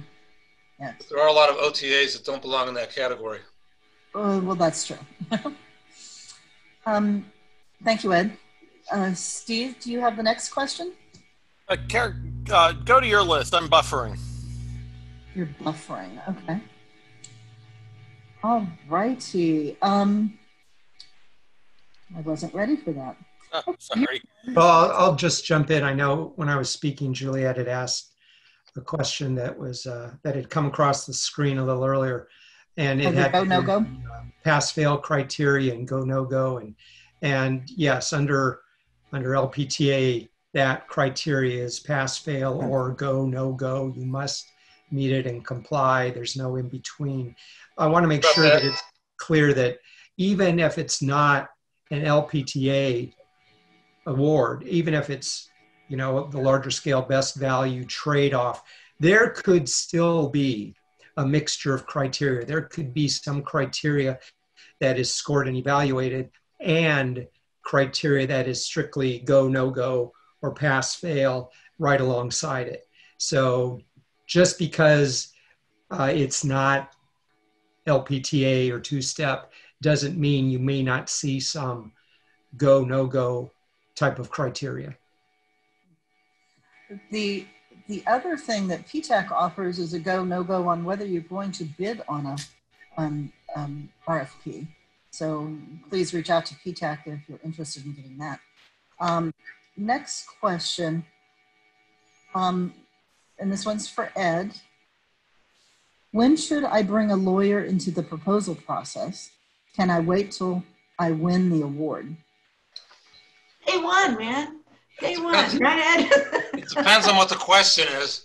Um, you need to bring in an outsider, an attorney, whenever you have a question about what your requirements are to do, whether it's in your proposal or in performance of the contract, you may not need an attorney the entire life of the contract. One of the think times you must, I, I recommend to bring an attorney is if you're a small business and you get a notice of proposed cancellation, you get a challenge to your size status, you get a bid protest. I'd recommend you get an attorney, at least consult with an attorney to um, see what happens. But every, if you have a problem, you're losing money or you're losing time, and you don't know what to do, then see an attorney. Oh, thank you, Ed. There's a lot of us out there. I just think I'm one of the better ones. Juliet, Juliet, this question is for you, and then probably Gary. How does the SOW relate to pricing? And do I include everything in SOW? Not sure what that part means, but Um, so you priced everything you need to do to do the work. Um, and a lot of uh, con- uh, proposals also include a pricing document that tells you labor categories and stuff. Um, I, I, I can't speak to that directly because I try to stay out of pricing after doing an awful lot of budgeting for budgeting for grants because it's budgeting, not pricing and grants. I uh, don't really have that much to do with it, but I do know this that um, the the customer is looking for you. I'll, t- I'll tell you this: your pricing needs to align with your narrative. This is true in mm-hmm. grants too. Your budget needs to align with your narrative, with your solution. If there is something that's really important and you just give it just sort of a glancing blow in your pricing, that doesn't, that tells something to the customer that you may not have full understanding of how important this is. And, you know, so pricing, budgeting, those are all another piece of your story, another piece of your um, persuasion. And one of the, I know I have sat through pricing meetings as the proposal writer and gone, well, we just we talk about in the narrative about having all this this stuff. Where is this in pricing? Oh, oops. So they need to align. That that would be a high level. All I can say about it. Maybe Gary can address Gary, that. would you like to? specifically. Yeah, I'm not exactly sure about how does it align with the statement of work. Juliet's right. The statement of work is your basis for, um, you know, assigning your work packages and pricing each of those. Uh, the government RFP may include also a work breakdown structure for you to use in order to uh, assist you in in formulating your pricing. Um, when the proposal is submitted, typically the cost volume or the cost section is asked to be submitted separately that's evaluated separately. And oftentimes, the technical evaluation team is not even given access to the cost volume. Um, the That's- that's a very officer, good- That's a really good thing to elaborate on, Gary. The, yeah, the the contracting But the officer. pricing, the pricing group reads the pricing and the, and only, and doesn't get to see the technical portion. typically correct. And the contracting officer is required to ensure that the pricing is fair and reasonable. So they'll do, uh, they'll probably give it to pricing experts with the government who will decipher it and, and look to make sure that it's complete and it's reasonable. And then maybe at the end, the technical team will get a look at the cost volume just to make sure that, as Juliet just said, what's said in one portion of the proposal is consistent with the pricing. And my advice to the authors is that, you know, don't leave anything to chance. Be very clear about what's included in your price and what's not. Because if there's ever any ambiguity about what's included, they will assume that everything's included and you'll be stuck with that. So make sure. That's Excellent point, Gary. I used to, in construction, I used to have a client that would actually um, submit a list of exceptions when he submitted a bid, things that weren't included in the pricing. He would comply, of course, with all the proposal requirements, but if there were things that were unclear as to whether or not they needed to be included, he would put them on his exception list. If he got awarded the contract, he could say, "Hey, this is what my exception list was. I said I couldn't, couldn't or weren't doing the uh, rare gaskets for the thingamajig." The, Could also knock you out of the competition because you aren't complying. But I, I always liked his practice. He was very good at that. So there, there are a couple things that pop up um, in the, this world when you've developed a relationship with a customer, whether it's a prime, or a prime sub relationship, or with a um, a uh, governmental agency, and that is the um, where they just want a rough order of magnitude, a ROM. And those are really interesting because it's almost sort of like a sole source. I've done a lot of those um, in occupational health and exam um, management. And um, they really just want to know can you do it, sort of how you would do it, and how you would price it. And then when we would do the pricing on it, we would give them sort of a standard and then options. So um, as you go through this world of government contracting and commercial contracting and being a sub and being a prime, you're going to get a lot of different um, uh, vehicles to um, go after business. And my suggestion to you is don't be afraid to ask questions. When you're asking questions that are going to be published to every God and everybody, be careful not to give away your solution or your weakness or your ignorance or your genius. Any of those. Don't give those away in the question. But when it's a one on one kind of thing and they're just kind of coming to you or you're working directly with someone, don't be afraid to ask the questions. No one is expected to know everything. And don't kid yourself. These people who write RFPs, they're not necessarily very good writers. And they're um, and people who send out, you know, requests for quotes and RFIs and all the other things and ROMs and stuff may not necessarily be good writers. And by asking questions, you also show that you're paying attention, that you care, and that you want to get it right.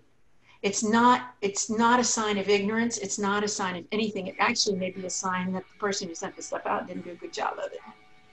Yeah, so it's to it's to be a collaborator, like you had said earlier. Exactly. To discuss it, and on Ed's exactly. point of the adding um, exceptions, we called it a, a page of assumptions when I when we would submit proposals, and that was where we would then walk through with the government and negotiate the assumption either in or out and whether the pricing needed to change, whether the statement of work needed to change or the specification. Because just like Julia just said, the, um, you know, there's a lot of information in the request for proposals and not all of the documents are correct or match up to each other. So that was how we, we always handle it. We would have an assumption page in the, in our proposal and those items would have to be um, discussed with the government.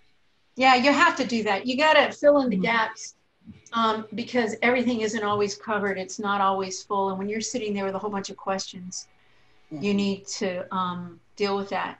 Karen, can I ask you something? I got a question privately that I think other people might be interested in hearing. So whenever you want, I'd be happy to share that. Go ahead. So someone asked me, I think she actually left the chat, which is a shame, asking me about how do you deal with reviews, proposal reviews, document reviews when everybody in the company is writing the proposal. so you can't go up to the C-suite because the C-suite is the people. First of all, I said you can hire somebody, you know, like me, or you can get everybody in a room or virtually sharing a screen and you assign the compliance person to pay attention and making sure that it's compliant. They've got the RFP, they're making sure all the boxes are checked. You've got somebody who's probably a writer or a desktop publisher type person managing the document, and you read through it. You just simply read through it together. Somebody is looking for typos, somebody's looking for formatting issues, somebody's looking for compliance, somebody's making sure that you're accurate on solution, checking past performance, checking these things. That is one way to do it. And even in a good sized company, that has been our gold team.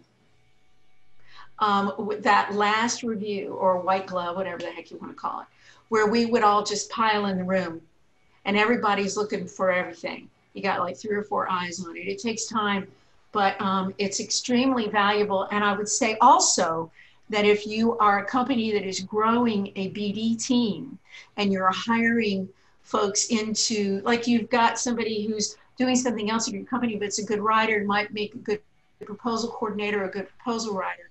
I suggest that you bring them in in all of your meetings and all of those processes to learn to see how it works. It's a great way to learn and watch how the mechanism of creating a proposal actually works. So there you go. That was the answer to that question to the person I think who's left the meeting. And, and it kind of goes with one of the questions I had is what what is a red team? So that's really what you were just talking about. With well, there's there is so there most of the people that I work with, large and small, everybody kind of follows the Shipley thing, and I, you know, I got the Shipley certification, and it's so complex, it's crazy. Maybe Boeing does, and Lockheed Martin does, and you're building huge aircraft. But most of the people that I work with start with a pink team, and like I'm, I've got a pink team deadline, pens down Saturday, and we're using a storyboard, which is an outline. So your pink team is your first blush, literally, of your solution and articulating the solution. It's where you're sort of here's what we're going to put in, here's how we're going to respond to these different sections. We need a table here, we need a graphic here. This is kind of, maybe I even draw it and take a picture of it, and this is what it looks like. But, and then people who, some of the people who are involved in that proposal will review it, and then um, usually a step up, not all the way to the CEO, but a step up will have a look at things, and maybe you pull in somebody external to look at it who's very knowledgeable. And then you work for another week or two or however time allows, and then you have a red team Red team should, the red team reviewers should be acting like the customer. I want to see me in this proposal. I'm the customer. I want to see your solution. I want to see your proof. I want to see the benefits. I want to see if it's making sense. Are you connecting all the dots? Have you covered all the compliance issues? And then after red team, you know, you have a red team recovery where everybody kind of goes back and fixes everything. And then usually sometime between red team and a few days out from the deadline, you have the final pens down and the desktop publisher and the top echelon of the proposal management team are taken over. Did that make sense? Yes, it does. Thank you. Gary, do you have anything to add to that? Uh, well, no, actually, from my my perspective, uh, you know, I don't get into that aspect, but I, I would offer that, you know, the key, I think, in these these teams, whatever color of the rainbow you want, is that they're independent sets of eyes. They haven't been the authors. And what is clear and obvious and common sense to the author may not be the same to the person who is handed the document and told to read it and score it. And so having an independent set of eyes look at it to find those things and and ask that same question Is this easy to follow?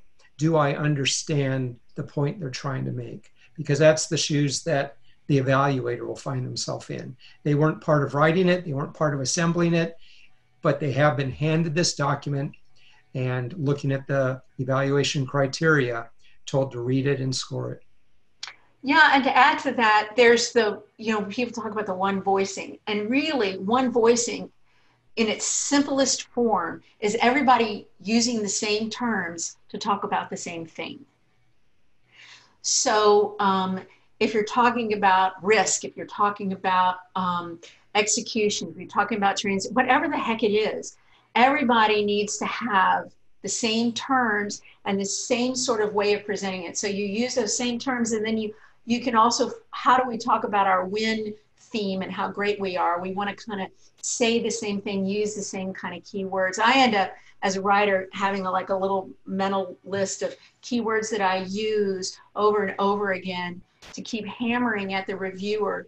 This is what we do. This is our our thing. And I just so one of those things about that review that I was talking about, everybody in the same room, is is that Joe over here may have talked about something this way, and Beth over here talked about it, the same thing in a different way. And you want to make sure it's not a win or lose. It needs to be the right way to say it, the best way to say it, with, that is the most clear, that is the most compliant, and the most compelling. Well, I think that's a good summary um, to, to end on. It's now 11:23. We've gone way past um, our time. I would like to thank our panel um, Juliet, Gary, and Ed, I hope you will come back in the future to us that we haven't worn you out for today. Um, we, um, uh, for everybody, for those that are still left on the conference, um, we will be sending out the slides and you will also be getting a survey. So please complete the survey and please add any additional um, panel discussions you'd like to hear or what other webinars you might be interested. Should, should we delve more into proposals? Um, I think it's one of our the, the most important topics um, that we present each year, and I thank the panel uh, for participating. Uh, Steve, do you have anything further to add? Uh, no, I mean, there's some questions I know we didn't get to, but if you've got the slide deck, you've got everybody's email. You've got the panelists' email, you've got the PTAC email. So don't be shy. Send us the question. If you send it to PTAC, we'll either answer it or we'll connect it to the to the right panelist to get the answer for you. So certainly, if we didn't get to your answer, we still want to answer it. The the second thing I know, when we we we went into a little bit of a uh, discussion on pricing. That's a great plug for our final uh, class in this series on proposal writing is going to be dedicated to pricing. So before you log off, uh, Eric put the link in uh, for that presentation in October. And I think we already have nine or 10 people have registered for it. So it's a great opportunity to get that registered and get that on your calendar. But other than that, And- thank, this was a this was a, a great panel. We enjoyed it. Thank you for, for thank you for arranging for this. Thank you, I enjoyed it. Thank you all for attending. And um, we will be sending the slides out. Um, and so do reach out to both PTAC and to our panel.